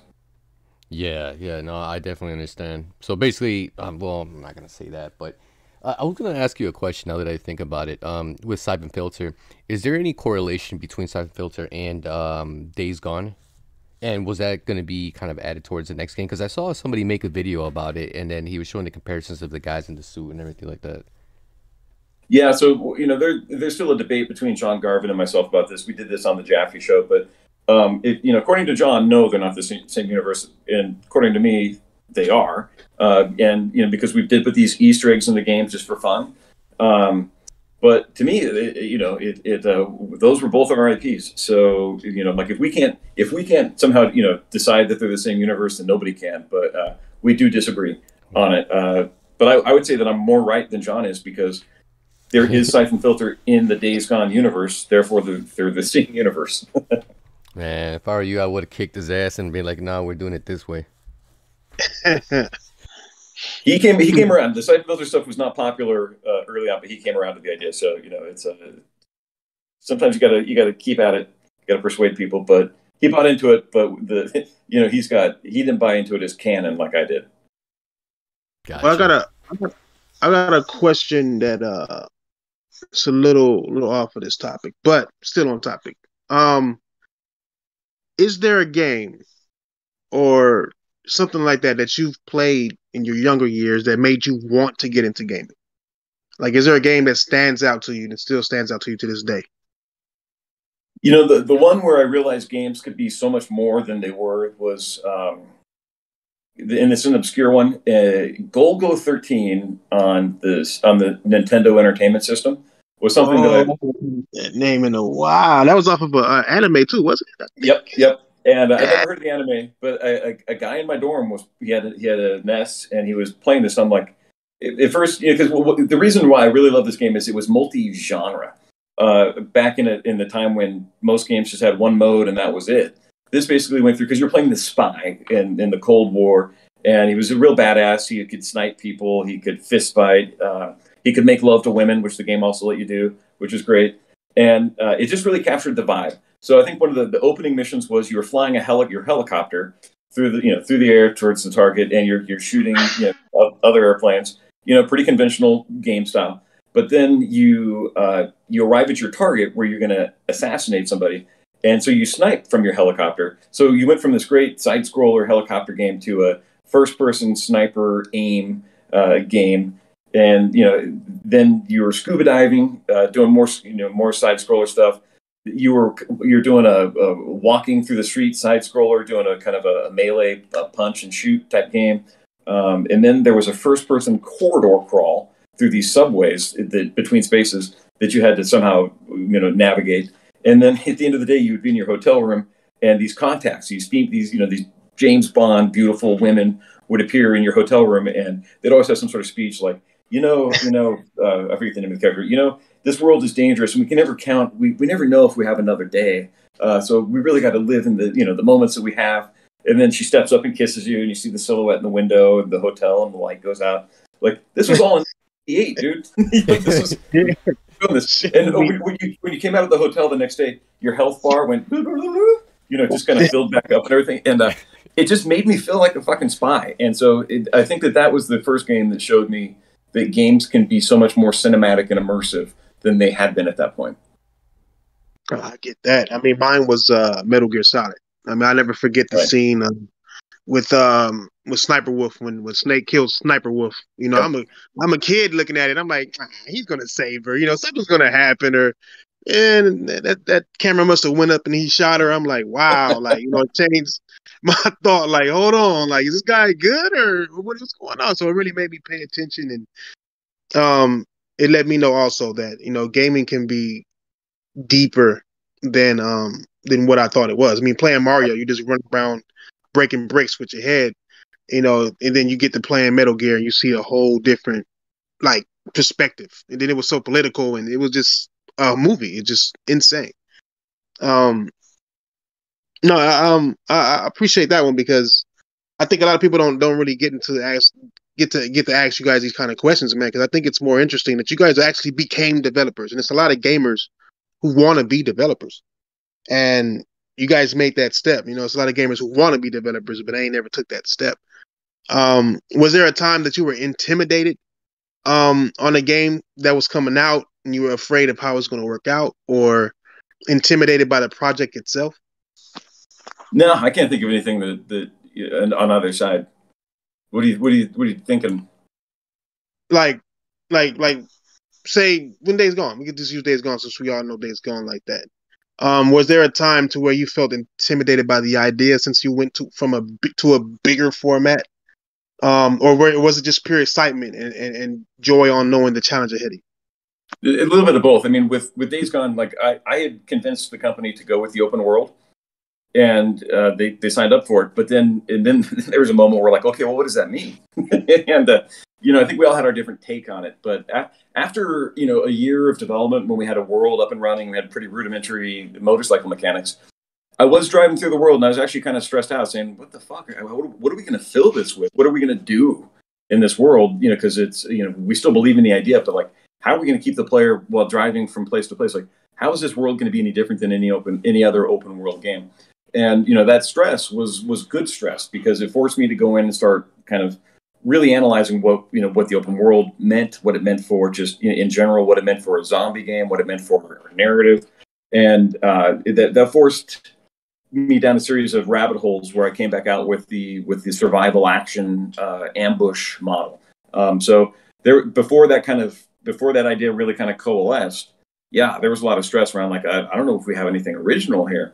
Uh, and then once those thoughts did coalesce and we and they became the formal design, it just took a long time for them to come to fruition because the game was so complicated and engineering was backed up. But uh, it it uh, it was stressful, uh, kind of waiting on that bet. It's like the it's like the roulette wheel that you spin, and it just keeps going for two years. You know, it, it gets stressful for sure. But then then it lands on your number and you're good. You want some money. Uh, that that's kind of what we went through for that. But that was pretty stressful. But I think we came out on the other side, right? Was a Let me ask you a question. Um, this will be real quick, Thrash. I promise. What is your favorite console of all time? If you had to choose, and it doesn't have to be PlayStation, because I know people just gonna think, "Yo, he worked for PlayStation," so clearly, no. What was your favorite platform of all time? Gosh, um, you know, I will say that it, this may not be that popular, but the Nintendo 64 at the time when it came out with those bizarre ass controllers, uh, which you know they're crazy now, but it, it the, they were so the games were designed one to one with those controllers, and they just felt really really right. So um, experiences I had playing Ocarina of Time, uh, playing you know like a, a, a 3D Zelda was was crazy uh, you know, playing a, a 3D Mario, which was brilliant with uh, their with their kind of room design, and you went back into the same world with different objectives each time. Um, so I would- say that uh, and, oh, GoldenEye, uh, obviously on that, but I don't know if it's so much the hardware, so much as the that was the hardware that was out when 3D started, when these 2D games were becoming 3D and still being emotional in some way. But um, I have I have a lot of fondness for the N64.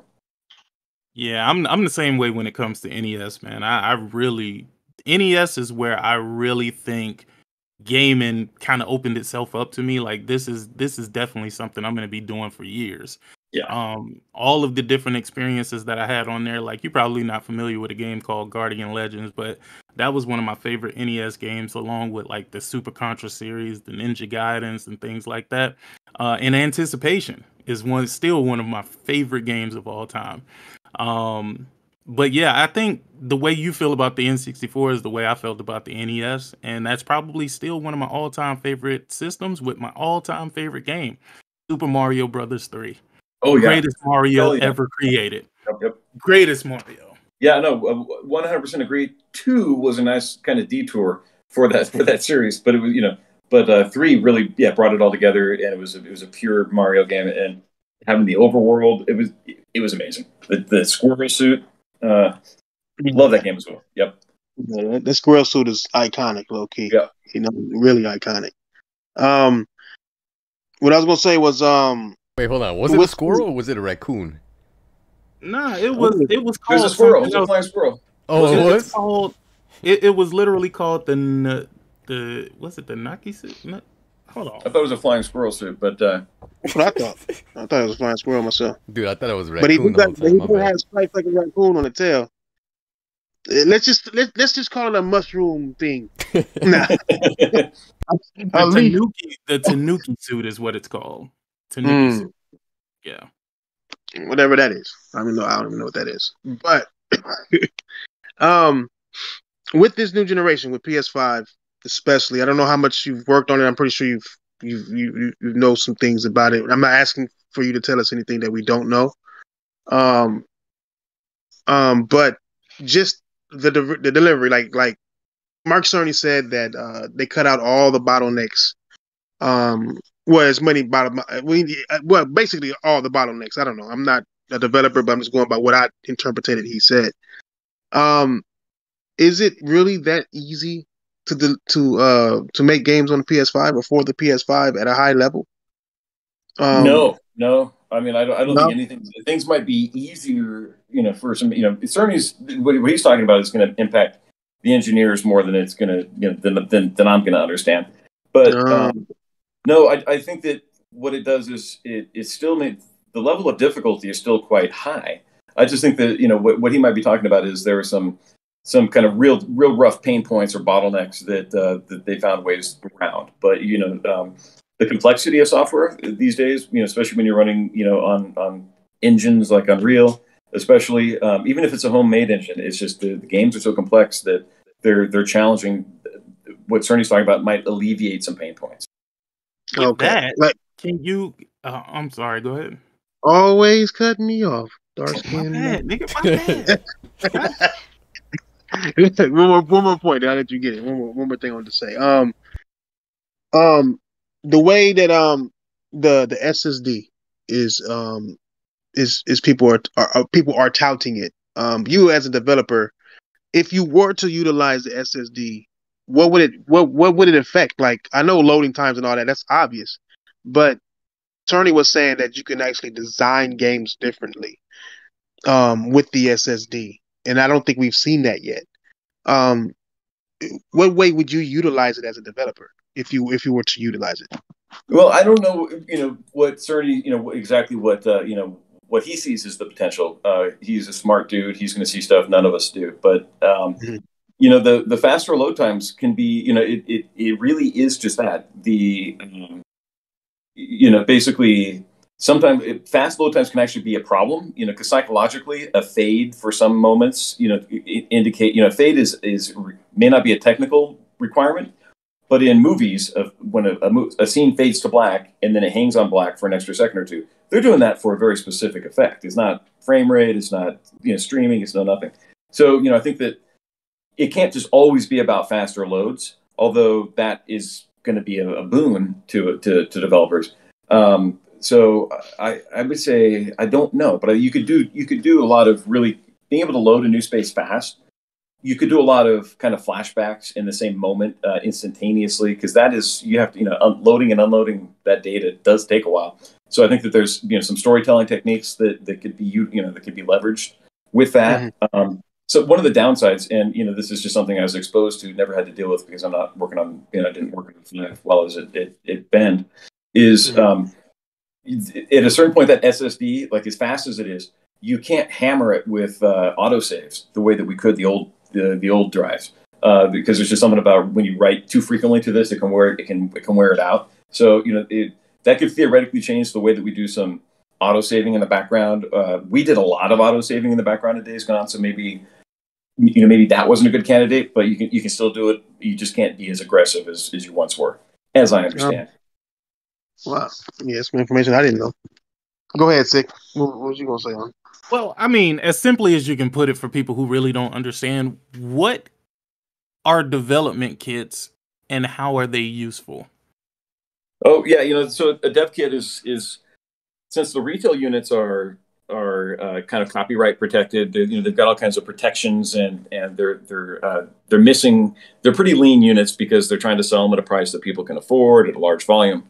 But when you're developing, you can't just you know, even if you could, uh, mod your your PlayStation 4 or 5 to take a burn disc and play it. It doesn't have a lot of memory or it doesn't have a lot of kind of uh, communication tools to it where it can talk back to, to your PC.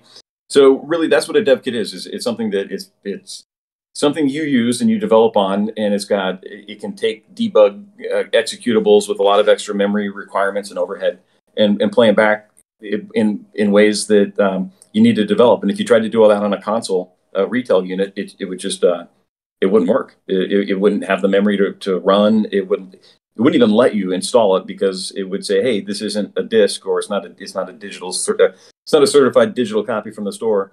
You can't run it on here." So they're just tools to kind of get you closer to the final target, but in a way that still allows you to be flexible as a developer.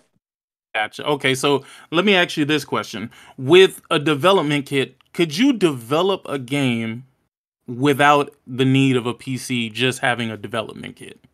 I, I don't think so. Uh, you know, I, I think that um, you know we used Unreal four for for Days Gone, and we could you know you could test a lot of the stuff in the editor uh, on your PC, but really you had to then send it to the to the hardware just so you could feel it and on the true you know the hardware and, and to see how it would really play. Windows is bloated, you know, so it needs a lot of extra memory. The thing doesn't run at the same frame rate. It stutters when you're playing on the PC.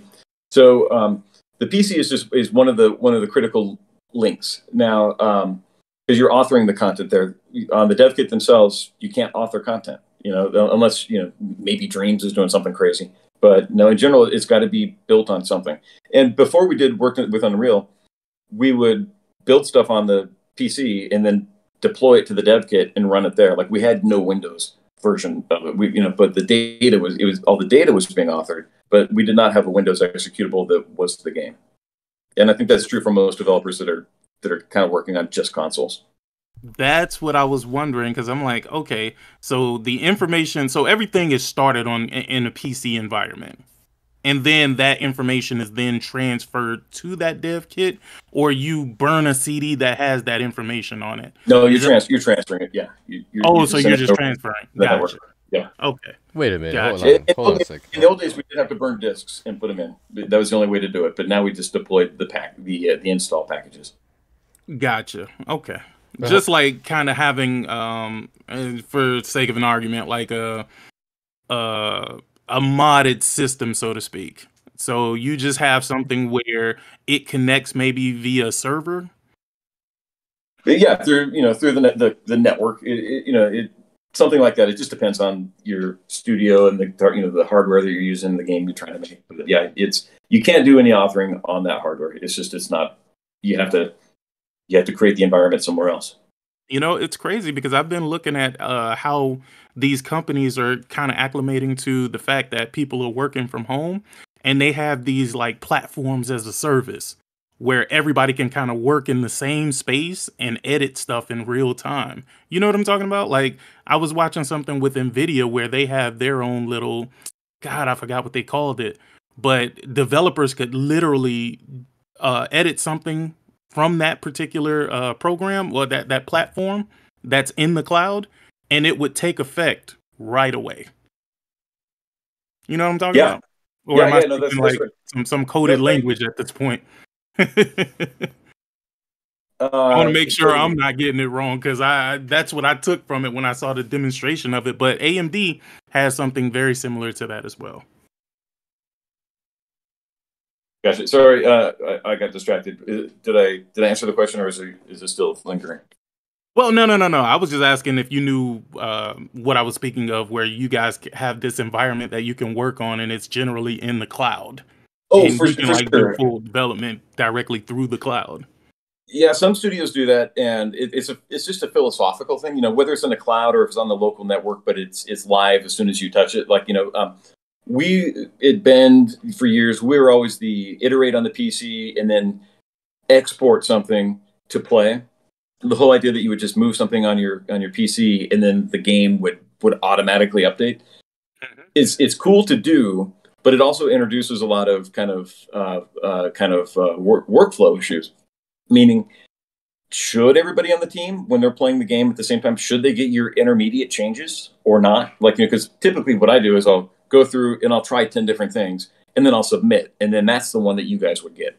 Doing it live teams are doing it. I've never been part of a team that has done it but i have questions and concerns about it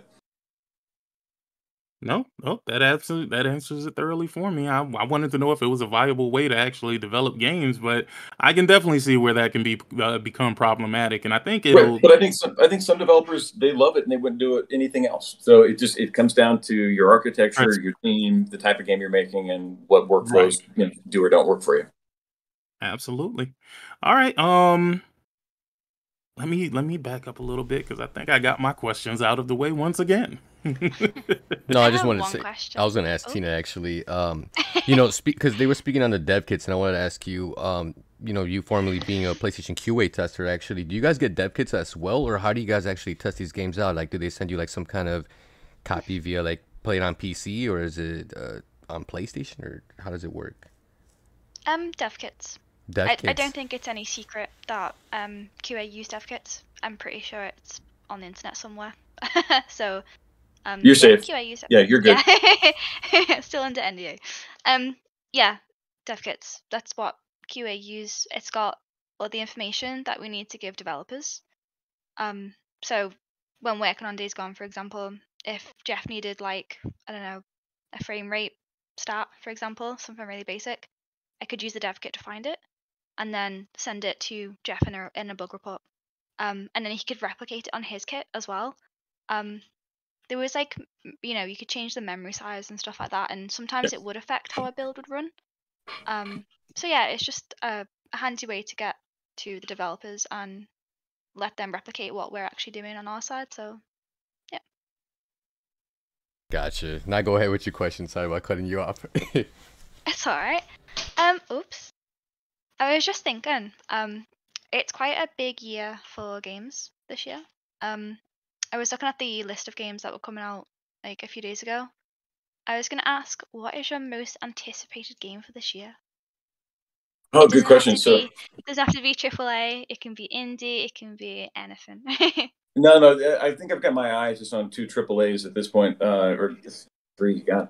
So, uh, Dying Light 2, obviously, that's right in my wheelhouse. Totally looking forward to trying that. It sounds huge, so uh, that's kind of intimidating. I don't know if I'm going to finish it. Um, so that one, you know, Horizon, uh, really love the first one, so I'm looking forward to that. Uh, they're a good group of people, and they took, uh, you know, they. I'm expecting something epic out of that. Uh, and then further down the road, you know, uh, Starfield. To me, I just think I'm I'm super intrigued by that. I, you know, there's a lot of really interesting games that have been announced. It's like uh, you know, like it seems like there's a lot of vampire games coming out. Like those seem kind of intriguing, but um, those those three that I mentioned are, are probably the big ones that I'm that are in my head right now. Starfield is definitely on my radar as well.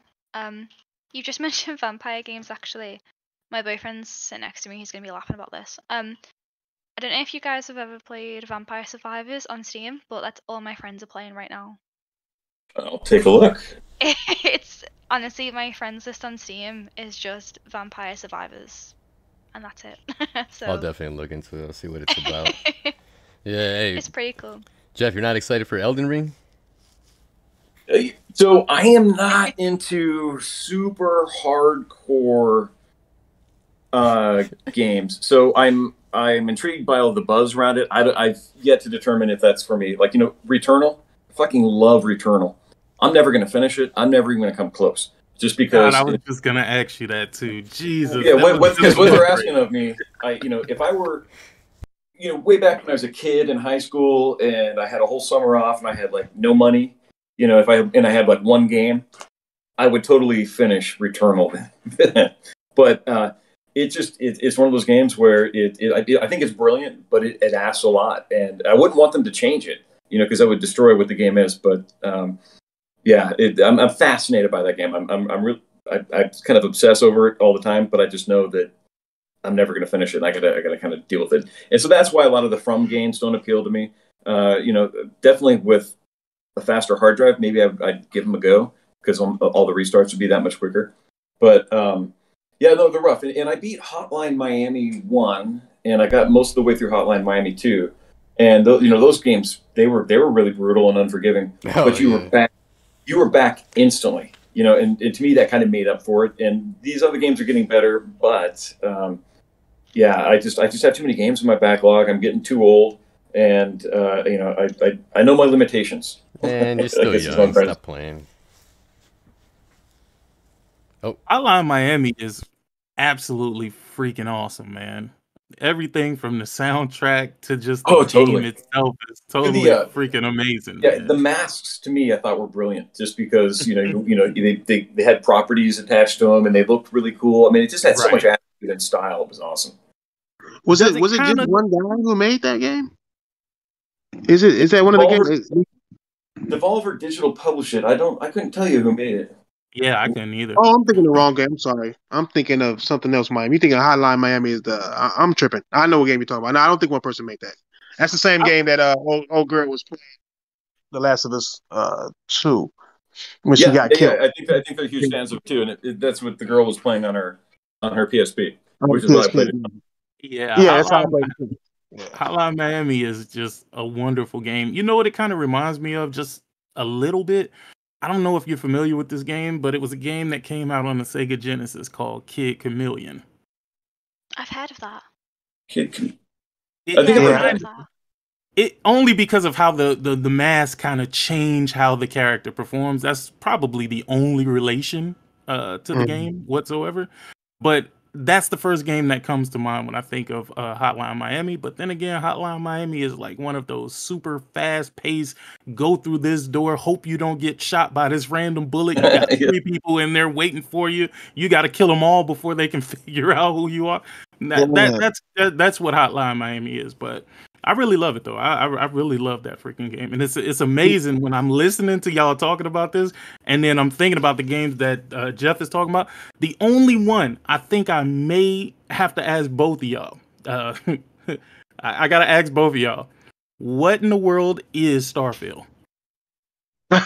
That's what I was gonna ask too, actually. I'm sorry, I, I gotta keep it a buck. I have no it's a great idea what that game is, what Neither it's do I. about, and I just don't even understand where the hype from it comes from. But then So- again, I'm not like a big like uh Fallout or Elder Scrolls fan either, so I guess that So- might be something.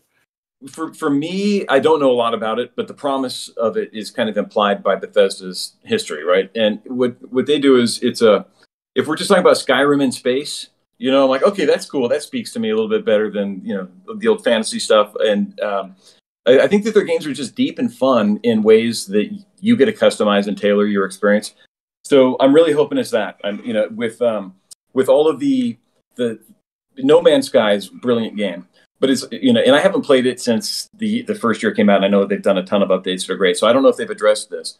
But um, when you're going through looking at all these really cool procedurally generated worlds, and you know, you may be the only person on this planet ever. Um, it it was a great procedural system. It wasn't a great kind of emotional system. You know, you didn't get a chance to interact with other NPCs or kind of, you know, say, hey, I'm going to go to that, you know, we're going to this planet or not going to that planet could change the state of something else somewhere. So I, I think that that's to me what Bethesda is going to be offering with Starfield, and um, I could be wrong, but you know, as a as, as a consumer, that's kind of where my my mind went to right away when they revealed what they did. Gotcha. Okay. Oh man. It's basically a, a space RPG in short. Pretty much. Well said. yeah. It looks it looks nice. Um just have to wait and see. There's there's not too much information about it, I think, so But I guess I, nice. I guess I understand what um I understand what Sick Humor is talking about because like you know all we've seen was like what uh was it like just some cinematics? No, it wasn't even cinematics. It was just a little trailer and stuff like that. But we have no idea what the game's actually going to be. You know, what if it turns out to be like some side scroller or something, or like a puzzle Nah, game? I- You know, I- yeah. no, but, but you Yeah. get what I'm saying is though. develop- This is where the developer brand kind of really it packs a punch, and you you know like all right, I don't ca- honestly I don't care what it is. I know that it's going to be interesting as hell, and that's what I'm looking for. So Yeah, I, I, I like flip- the. Oh my bad. Go ahead. Go ahead. No, Go no, ahead. no, See. no, no, Nope, No, nope, no, nope, no. I'm not gonna do it. Man. Get it out because I'm talking about switching gears to a totally different topic altogether. So I don't want to oh, leave this. Yeah. Just go ahead. Um, um, um, I think the the the problem that I have with Starfield is that yeah, it's good to be mysterious, but you got to give us a better like like Kojima's a genius at it. When he did Death Stranding, even before the game came out, people really didn't know what the hell was going on, and that was the beauty of it. Every trailer added to the mystery. It answered some questions, and, and then it made a lot more questions. Made a lot of analysis videos on it and it's just you just didn't know what was going on because it was just so crazy, but it was just ultra interesting. But he did it with gameplay and did it with everything too. I think that's the problem with Starfield coming out this year.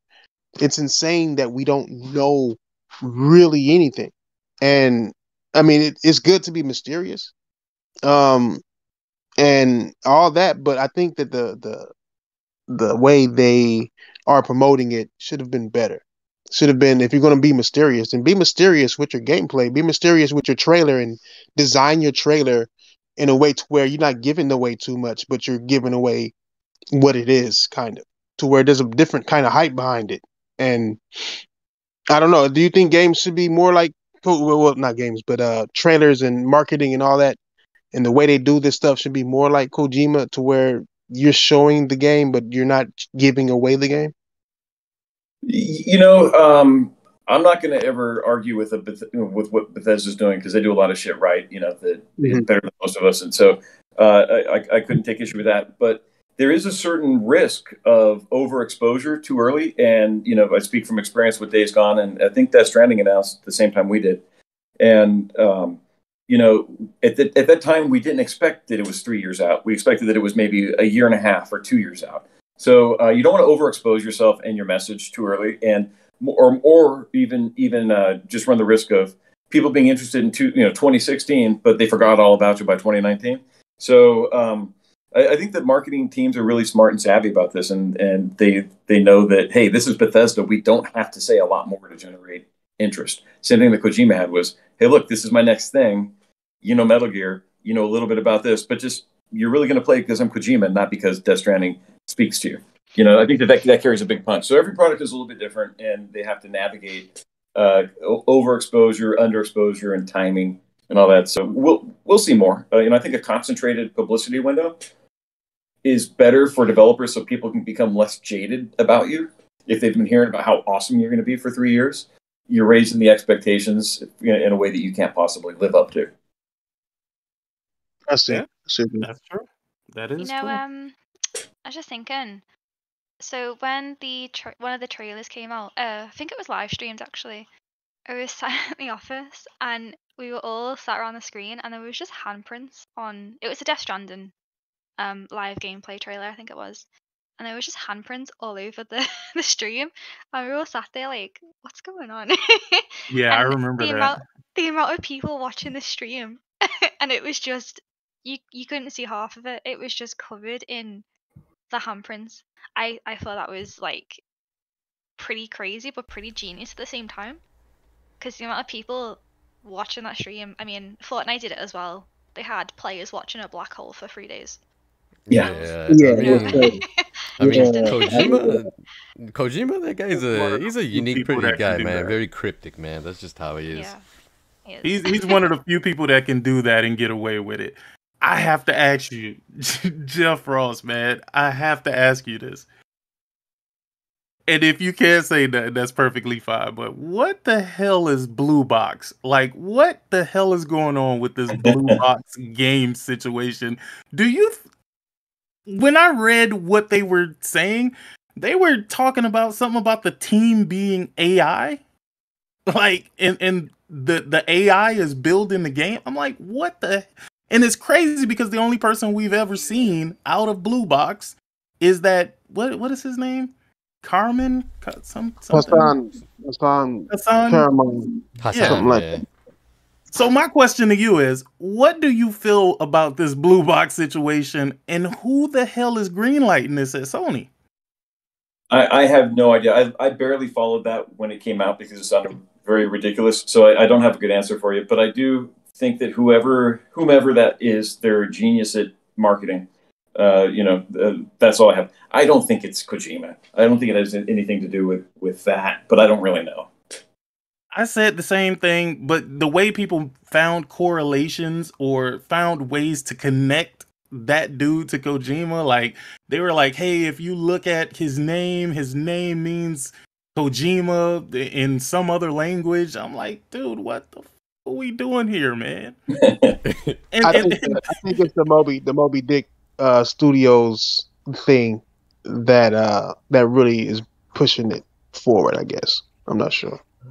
But how can how can how can this be good for them is what I'm trying to figure out. Because again, every time they they lose this acceleration on this marketing and shit, it's like they put their foot on the gas with saying something that sounds totally fucking unbelievable. And they bring it all the way back up. Like they literally teased uh you know whatever game they're working on um what was it called? Abandoned they they tease that as if it was Silent Hill. Like they're hmm. doing this to themselves. Like it's not like a, a de- like a developer that's just being bombarded with harassment from random people, you know, for doing nothing. Like they're literally feeding the fire. How could that be good, Jeff? Like I'm trying to figure out how can this ever turn out to be good, dude? You know, I, I don't know. I think that you know they're generating some. They're gen, they they generated attention that they may not otherwise have, and with that attention is going to come expectations, and you know it. So it will bring a massive audience towards something that was just going to not stand out in any other way. But when you bring that audience, you're bringing uh, anticipation that you know they have they have different expectations than you may be delivering on. So I think that that's where a vague message can kill you. Hmm. I've got a little something to add to that. By the way, hey, hey guys, I'm really sorry I'm so late. I uh, I was asleep uh, after an exhausting uh, couple of days. Nah, and man, we're gonna have to kick your ass after the show.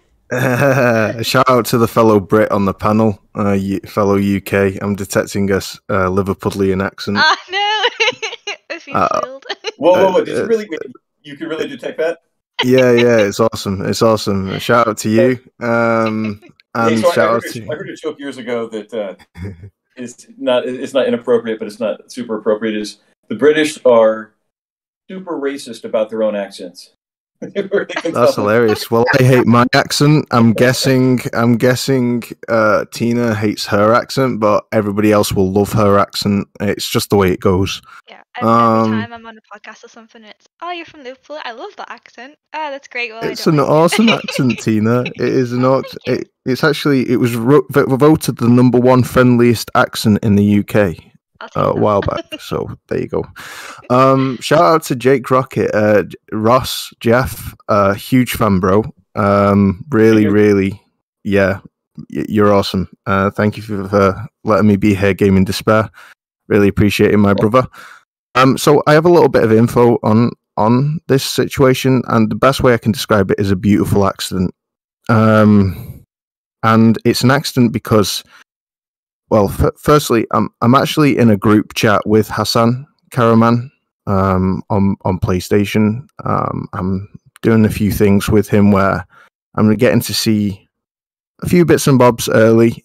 Um, and it, uh, by the way, his name doesn't translate Kojima; it translates Hideo uh, in his language. But but I mean, there are a lot of uh, co- co- there is a huge amount of coincidences, but the, the, the hype, the advertising, it was more on people people uh, spotting these coincidences than on him. It, it wasn't really uh, Hassan that Hassan didn't even advertise it as Silent Hill. That's kind of a, a bit of a conflation. He he actually advertised as Survival.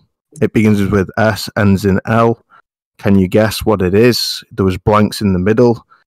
And he genuinely meant survival. So in a way, and because Hideo Kojima at the time was hinting at Silent Hill an awful lot and still is to this day, the timing kind of worked against him and everybody just jumped to the conclusion and suddenly started comparing the two. And you know, he, he I know for a fact that Hassan is a real person. I know that he's regretful of the way that the all the coincidences have worked against him, and no matter what he says, people will just say in response, "Yeah, sure, Kojima. Yeah, sure, Hideo." Um, and uh, and they'll just continue to insist that he is um what who he says he's not, and he has in multiple interviews stressed that he's he's really is not Hideo Kojima. He has no affiliation with him, but people just will not accept that, and so we can't blame put all the blame on him when there is a huge amount of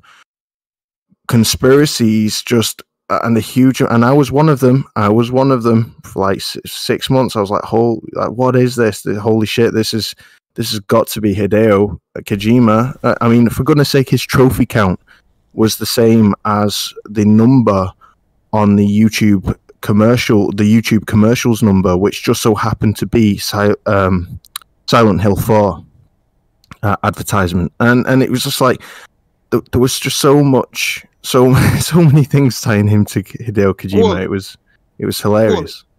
Willie, fuck Hassan. We talking to Jeff Ross right now. Ask this man some questions, please.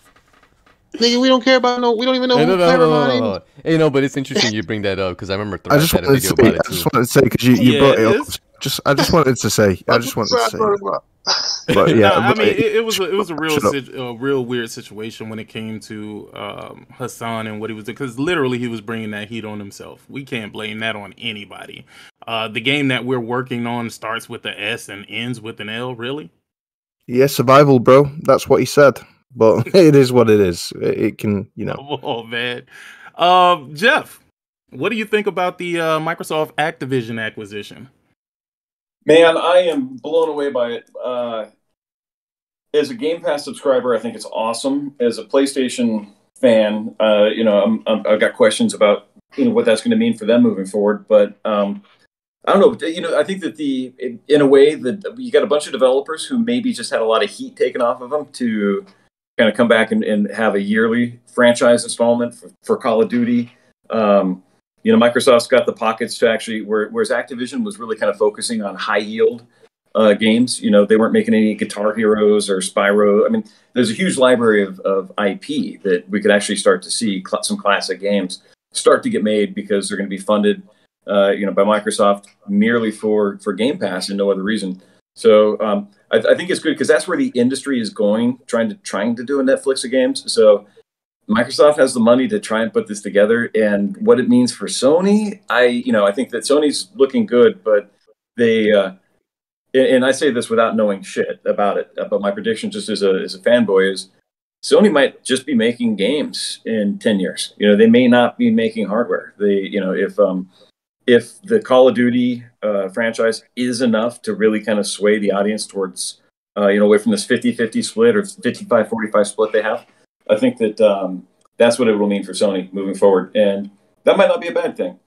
Uh, you know, so they can because they've got they've got a lot of the great IPs, but they they don't have enough developers to release a version of those IPs every year. You know, so I think that um, you know basically they, they may not be able to su- to sustain a software, uh, you know, a, a base library of, of kind of must have titles, you know, for for the PS5 or the PS6 later on because uh, Microsoft owns everything now. So it, I don't know, I'm I'm excited and kind of you know terrified at the same time.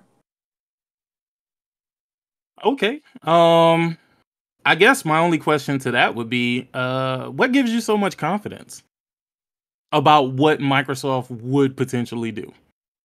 That's oh, that's my mean- that's my number one question. The only reason why I asked you that because I do want to give you some background on why I'm asking you this question. Um, they have they they own Rare, and Rare has a huge back catalog of IPs that they've done absolutely fuck all with. So what makes you think because they bought Activision that they what makes you confident that they will then bring back all of these old IPs? So it literally comes down to they're going to have this install base of of users. You know, I don't know what they're up to now at this point, but let's just say that they've got 100 million subscribers worldwide that are paying them their. I don't even look at what it costs me every month, but uh, they're they're they're paying them a shit ton of money, and they they need new titles every month that is going to force Microsoft into going and buying a lot more library, you know, you know, finding a way to, to drudge up old titles and bring them to the platform, or finding developers that can start to make these smaller, cheaper titles for the for the platform. You go on Netflix, it's not all Ozark. You know, there there are plenty of kind of shitty documentaries they bought from the Discovery Network for a while, just to put more hours of content in the system. I think Microsoft right. will they will run into that at a certain point, and they can't. You know, not every game can be equal in terms of budget or whatever, but you know, you can you could fund a, a cheap Crash Bandicoot game that would that would check all the boxes and appeal to all the fans. Yeah, I was I was thinking that. That's what I was saying earlier. Like, will these will these subscription services become to the point where we lose we lose quality in games because of stuff like this? To where now you're forced to bring out games faster than what a developer would normally do, which would force you to make a smaller game. Not to mention all the budgets and stuff like that um, that's basically the future. Is that I mean, the, the power of the console ain't going to matter no more because they're going to be too busy trying to uh, bolster these these services, and it's going to be bolstered with games that are double A or even A game. Yeah, I, but, but like I said earlier, I think that that could lead to a really kind of a creative, like a watershed moment where um, the the same pressures that we have right now, the same market forces, don't apply the same way, and um, games can be riskier. So Will it, will we wind up playing a couple two hour games that are one and done? Uh, hell yeah, I think that's that could be a good thing. You know, Gone Home was a brilliant game when it came out on the PC years ago, and it was very simple and probably very cheap to make, and it was still an incredibly satisfying experience for me as a gamer and, and a lot of other people. So um, I don't see that as a negative. I, th- I think that if if uh, if it becomes shovelware, like let's just get let's just run, let's build an emulator to get this old game up as it was that's not very interesting. But if if it's shorter, kind of sweeter experiences, I'm down with that. It, assuming that there's always going to be the blockbusters too.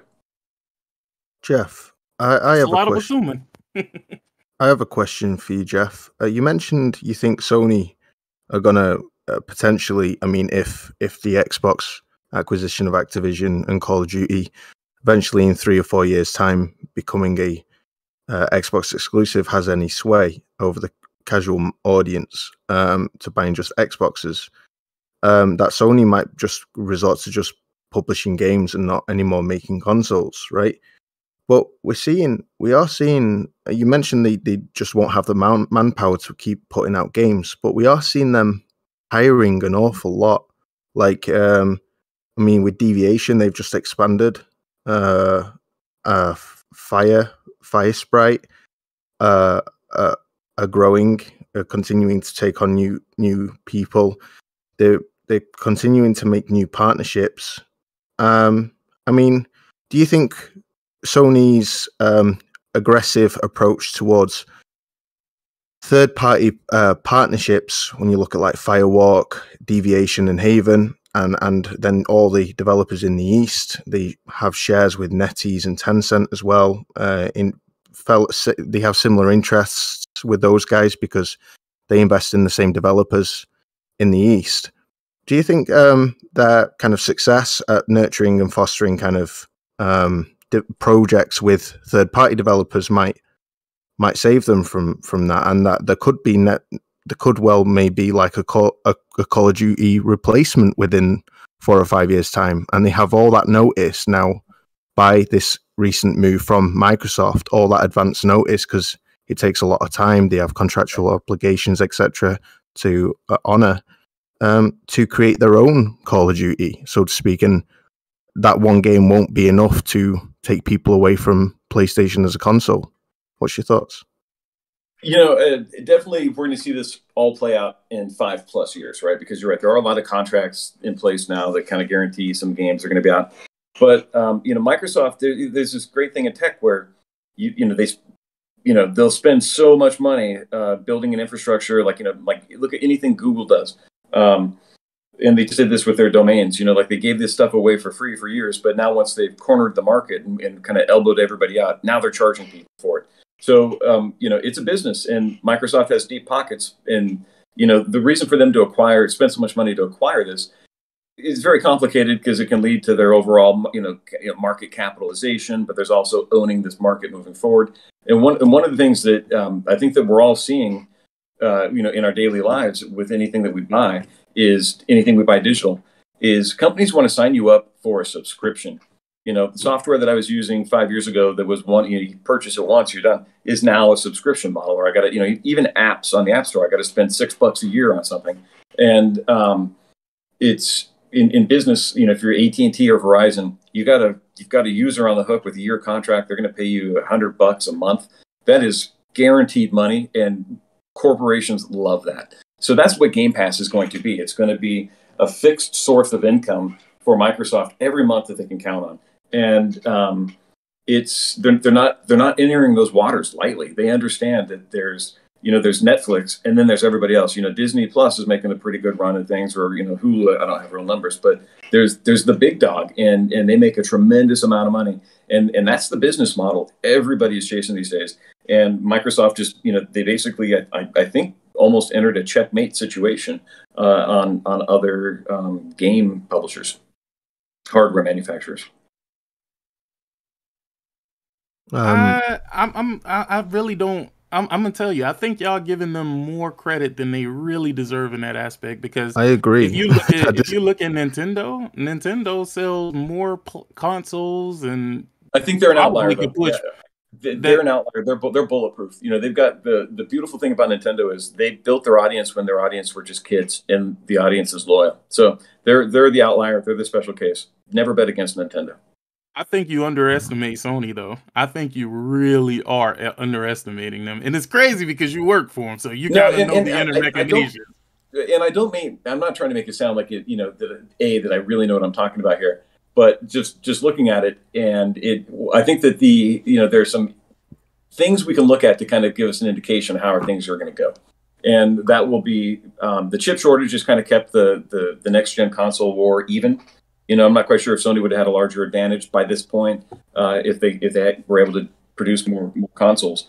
But um, I, I think that gamers don't have as much money as people think they do. When we, you know, some of the, the, the data that I had at Sony was gamers will spend they'll they'll buy three titles a year because uh, that's all they can. Most people can't afford to buy a shit ton of games, so they're going to have the two of those games are going to be pre-spent in their mind. They're going to buy their you know their Call of Duty that they buy every year, uh, one other game that they're you know, developer they're partial to, or type of game, and then they're going to have the one where they're like, "Look, is it going to be Death Stranding or is it going to be Days Gone or maybe I'll do this.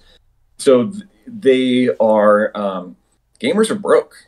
And, you know, there's the whales who go through and spend a lot of stuff on on DLC or or in in game purchases, but um, that that's where I think that um, Game Pass can really speak to a lot of people. Uh, just it may not necessarily be their preference to go with that with that company, but they're going to get the best value for their buck every month um, for for uh, being with them. And and it's um, because if you ask me, Sony's way better, right? Like you know, it is it's the PlayStation. The Xbox is just trying to imitate it. But the way that things these business deals have have kind of shooken out, they Microsoft just acquired some of the biggest dogs on the planet, and they are uh, they're going to start wielding those as a as a business weapon in in the next five to ten years.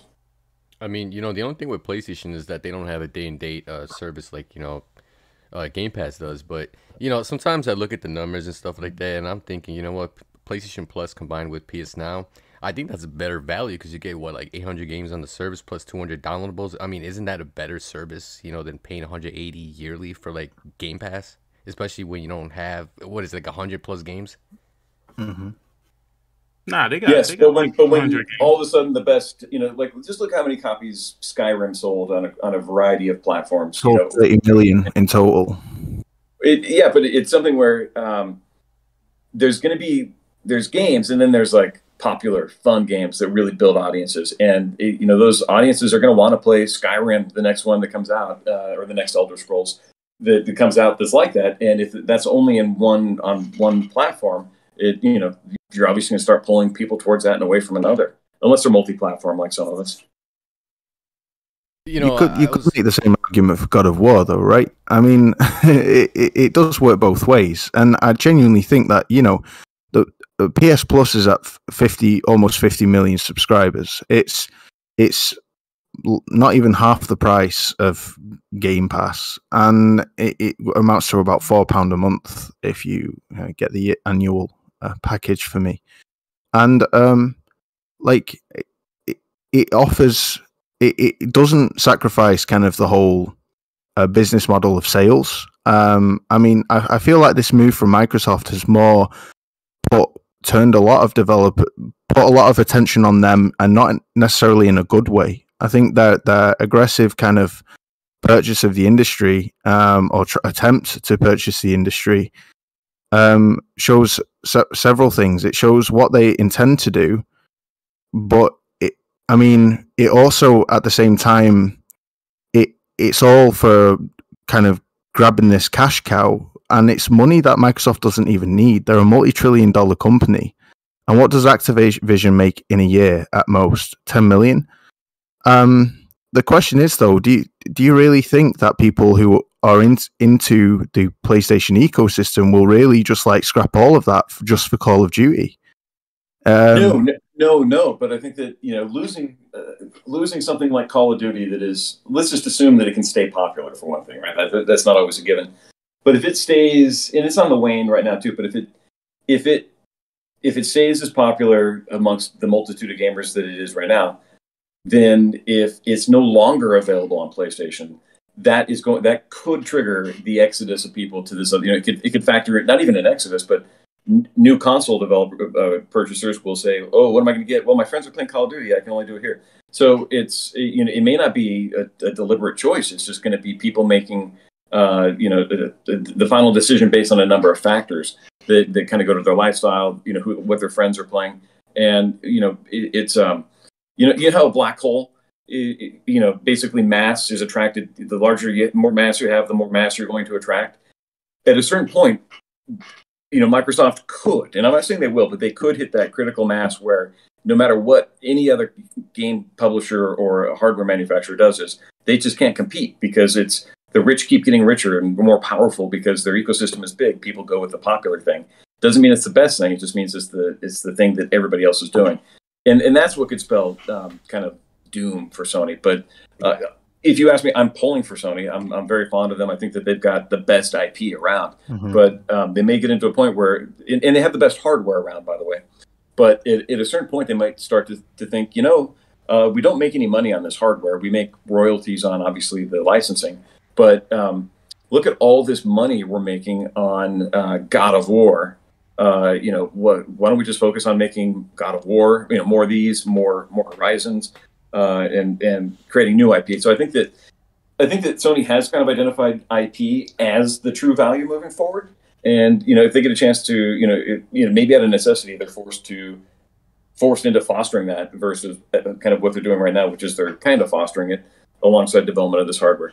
Um, but I don't think Sony's going anywhere. It just they may not be the they may not be the winner in the in the you know each console's generation like they like they were on the four and on the two and the one. You know, I got a question actually. Now thinking about all that right now, um, and I've been thinking about it, talking about it with some friends. Do you think that Microsoft is possibly trying to become a third-party publisher? You know, like not necessarily like they're getting ready to get out of the the, the console space and stuff like that, and just you know be a subscription service.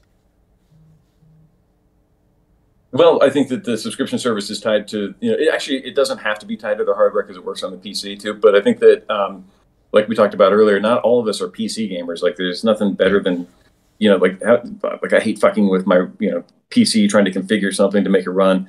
A console that just works the way it works is is is, great. So, um, I don't know. Like, I don't see them in third party developing. I I think you got to start looking at it like Netflix signs agreements with other production houses to make something for a certain amount of money and you know, I guess that's technically third-party publishing, but it's really, um, you know, you're you're paying somebody to to author content for your system to provide value to your install base. Okay. Yeah, I, I had a I had a deeper thought on that because I already um, view them as a full. Hey, hold on. Hey, hey, Thresh, hold on one sec. Um, just give him the last question that you're gonna have, and then uh, after that, I'm gonna end the show. Right? Just oh, go ahead, Thresh. All right, bet. Um, I was looking at the same thing. Um, my my view of it is this. Um, my I, I view Microsoft as already being a hundred percent third party. Like they, at the end of the day, hundred percent of their games that they make are going to Steam, and Steam is a is a platform that they do do not own and take royalties or give royalties to, and that's what third party companies do, right? That's just what they are. Um, I see them pushing Game Pass more than they push their their their their console. Even with this this Activision purchase, they didn't really mention Xbox. They mentioned Game Pass. Yep. Um. So so pushing towards the Netflix of gaming, yeah, I get, but there's no Netflix doesn't own a hardware. Um. And I'm looking at it like the way Call of Duty makes money. The the companies that they are buying are forcing them to go like the, the Sega way because these games won't have the same value that they have after purchase. If you purchase them and then you take them, you, you remove them from the, the, the platform that has a majority of its buyers, its fans, just to try to get them on a on a console that has already failed you is a bigger risk than just keeping the game where it is and still collecting that money at seventy dollars a pop and selling uh, the best on all the platforms. You know what I mean? Like I think it's I think it would be backwards. You can still put Call of Duty mm-hmm. on Game Pass if that's what you want to do, but then you're still losing money because even on Xbox with Game Pass there, it's still its number one seller and number one played game at seventy dollars.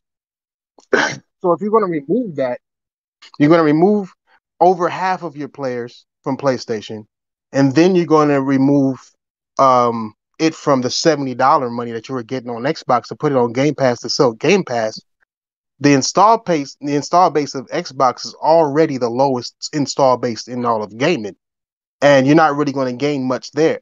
So you're going to have to do it on PC as well to get that install base, and then there's a Call of Duty on cell phones that you can do as well. But then you would put all your eggs in one Game Pass basket instead of having it to where it is to where you can have both Game Pass and it on all platforms and make a lot more money than you would if you were to take it all away just to put it in Game Pass to sell Game Pass. Am I am I wrong on that on that point of view of like it just doesn't make sense to take a third party game, kind of like Minecraft. They didn't take Minecraft away from PlayStation. Oh, they and they made a lot of money because of it. Yeah, right, but they, I, and I, I don't know, but I know that they want. I feel like they bought that because this is at a certain at a certain point when uh, existing contracts are, are gone, um, I anticipate them making that move. I mean, it, it's like with Netflix. They they say that they're not really competing. They're they're not competing with Disney Plus. They're not competing with just Hulu. They're competing with everything: movies, books, uh, other television programs, video games. They're competing for eyeballs, and Right. uh, I, I do think that's the business model moving forward. Is you know everything you talked about about the you know the tremendous amount of money that Call of Duty can generate is really nothing in the grand scheme of a 70 bi- when you when you're a company that can throw a, throw around 70 billion dollars uh, everything else is just nickels and dimes. So um, th- th- these are crazy insane numbers for us as developers but in, in, on- on the scale and the scope and the ambition that microsoft has that just doesn't move the needle. And uh, you know it doesn't move the needle for them in terms of what their corporate strategy which is to own the space and you know owning the space by owning all of the content creators or, or a number of the content creators is a great first move. And you know exactly what they wind up doing with it. We have to do a TBD, but I but I do guarantee you the conventional way of thinking about about uh, profit and development it is going to go out the window uh, it, because it it's it will no longer be that we're paying thirty bucks a month or whatever for whatever the the platform's going to have, and then they're going to have to make sure they keep that as compelling and interesting and and uh, fresh, has as much fresh content as possible. So now listen, all of this stuff I just said I'm not an expert at all. I'm just a just a gamer, Right. just a consumer speculating. So you know, I hope I'm wrong uh, in the term in, in terms of like I do appreciate healthy competition between publishers like this, but at, at a certain point with the move they just made, you know, it might be tough for anybody to keep up. Uh, you know, Nintendo is an outlier, but um, they just they just changed the uh, they changed the, the space entirely with this purchase if it goes through. Well, let me let me ask you a question before we get up out of here, and then I'm gonna make this really really quick um, because I definitely love the discourse and I definitely love hearing your takes on this stuff. Um, how does this fare for developers? Since that's what you are, you are a developer. How does this benefit you guys as a developer, as developers? So I've, I've actually spoken with some companies in, in the Microsoft uh, kind of ecosystem, companies purchased by them, and um, it's great for them because they get to maintain their the, the few that I've spoken with. Um, they get to maintain their their culture, their you know their their autonomy, um, but they also have the guarantee they have guaranteed funding. So it, it's for the time being, it's something where to me it seems like the perfect world because you know it, I got the sense that there wasn't a lot of publisher overreach or, or even not much or any at all. So as a developer, that's the sweet spot. And to know that you don't have the same type of milestones where, hey, this company might not be here in six months if we don't hit this milestone. Uh, you know, those pressures go out, you know, they go out the window. So I think that um, it, it's positive for developers in that way. Uh, where it could be negative is they might then not have to be as um, uh, competitive, or they, they may lose that killer edge trying to you know trying to be the game that has the distinction that sells millions of copies and is a huge breakout hit because they you know they're basically just looking to provide trying to fill a hole an hour's hole in this service uh, you know every couple of years and um, I see it as I, I see it as overall good, but developers will have to maintain their discipline to keep their eye on the prize. Gotcha. Fair enough. All right, well, we got a lot of insight today. And Jeff Ross, we need you to do us a favor. Go to Sony headquarters, beat everyone's ass, and tell them that you need Days Gone 2, man, so we can all be happy as gamers and, you know, start chilling out. Oh, they, they won't let me in anymore probably if I show up. Uh, said a lot of stuff on Twitter lately, so I He's don't. done. He's done David Jaffe, right? Well, I'll say this before we go, man. I really, I do appreciate you being here, man. You've been one of the like easier people to talk to because I, I feel like what you you saying you are saying what you meaning, and, uh, and we yeah. you're you're giving us um, honest opinion on what you what you believe, and that's more valuable than anything. I think um, to be able to talk to people like humans and not like robots, and I, I really appreciate that, bro. Awesome. Thanks for appreciating. Thanks for Really- picking up on that. Uh, but yeah, no, I, I say what I mean. It gets me in trouble a lot too. You're a down to earth guy, uh, Jeff. You've always come across extremely approachable and uh, you're very easy to talk to, like King Thrash said. So thank you, man. It's a pleasure to, and honor to speak with you here on this podcast. Yeah, likewise. Thanks for having me, everybody. Yeah, man, take care, Jeff. I, got, I gotta I gotta have you on a round table one day, man. I gotta have you come through and uh, come eat with us. Yeah, uh, reach reach out. All right, we'll do. Christina, it was awesome being on a podcast with you finally. And Take you? Oh, yeah, later, Tina. I'm going to see you guys later, all right? Take care. Peace. yeah. See you later. All right, Bye. bye guys. All right, appreciate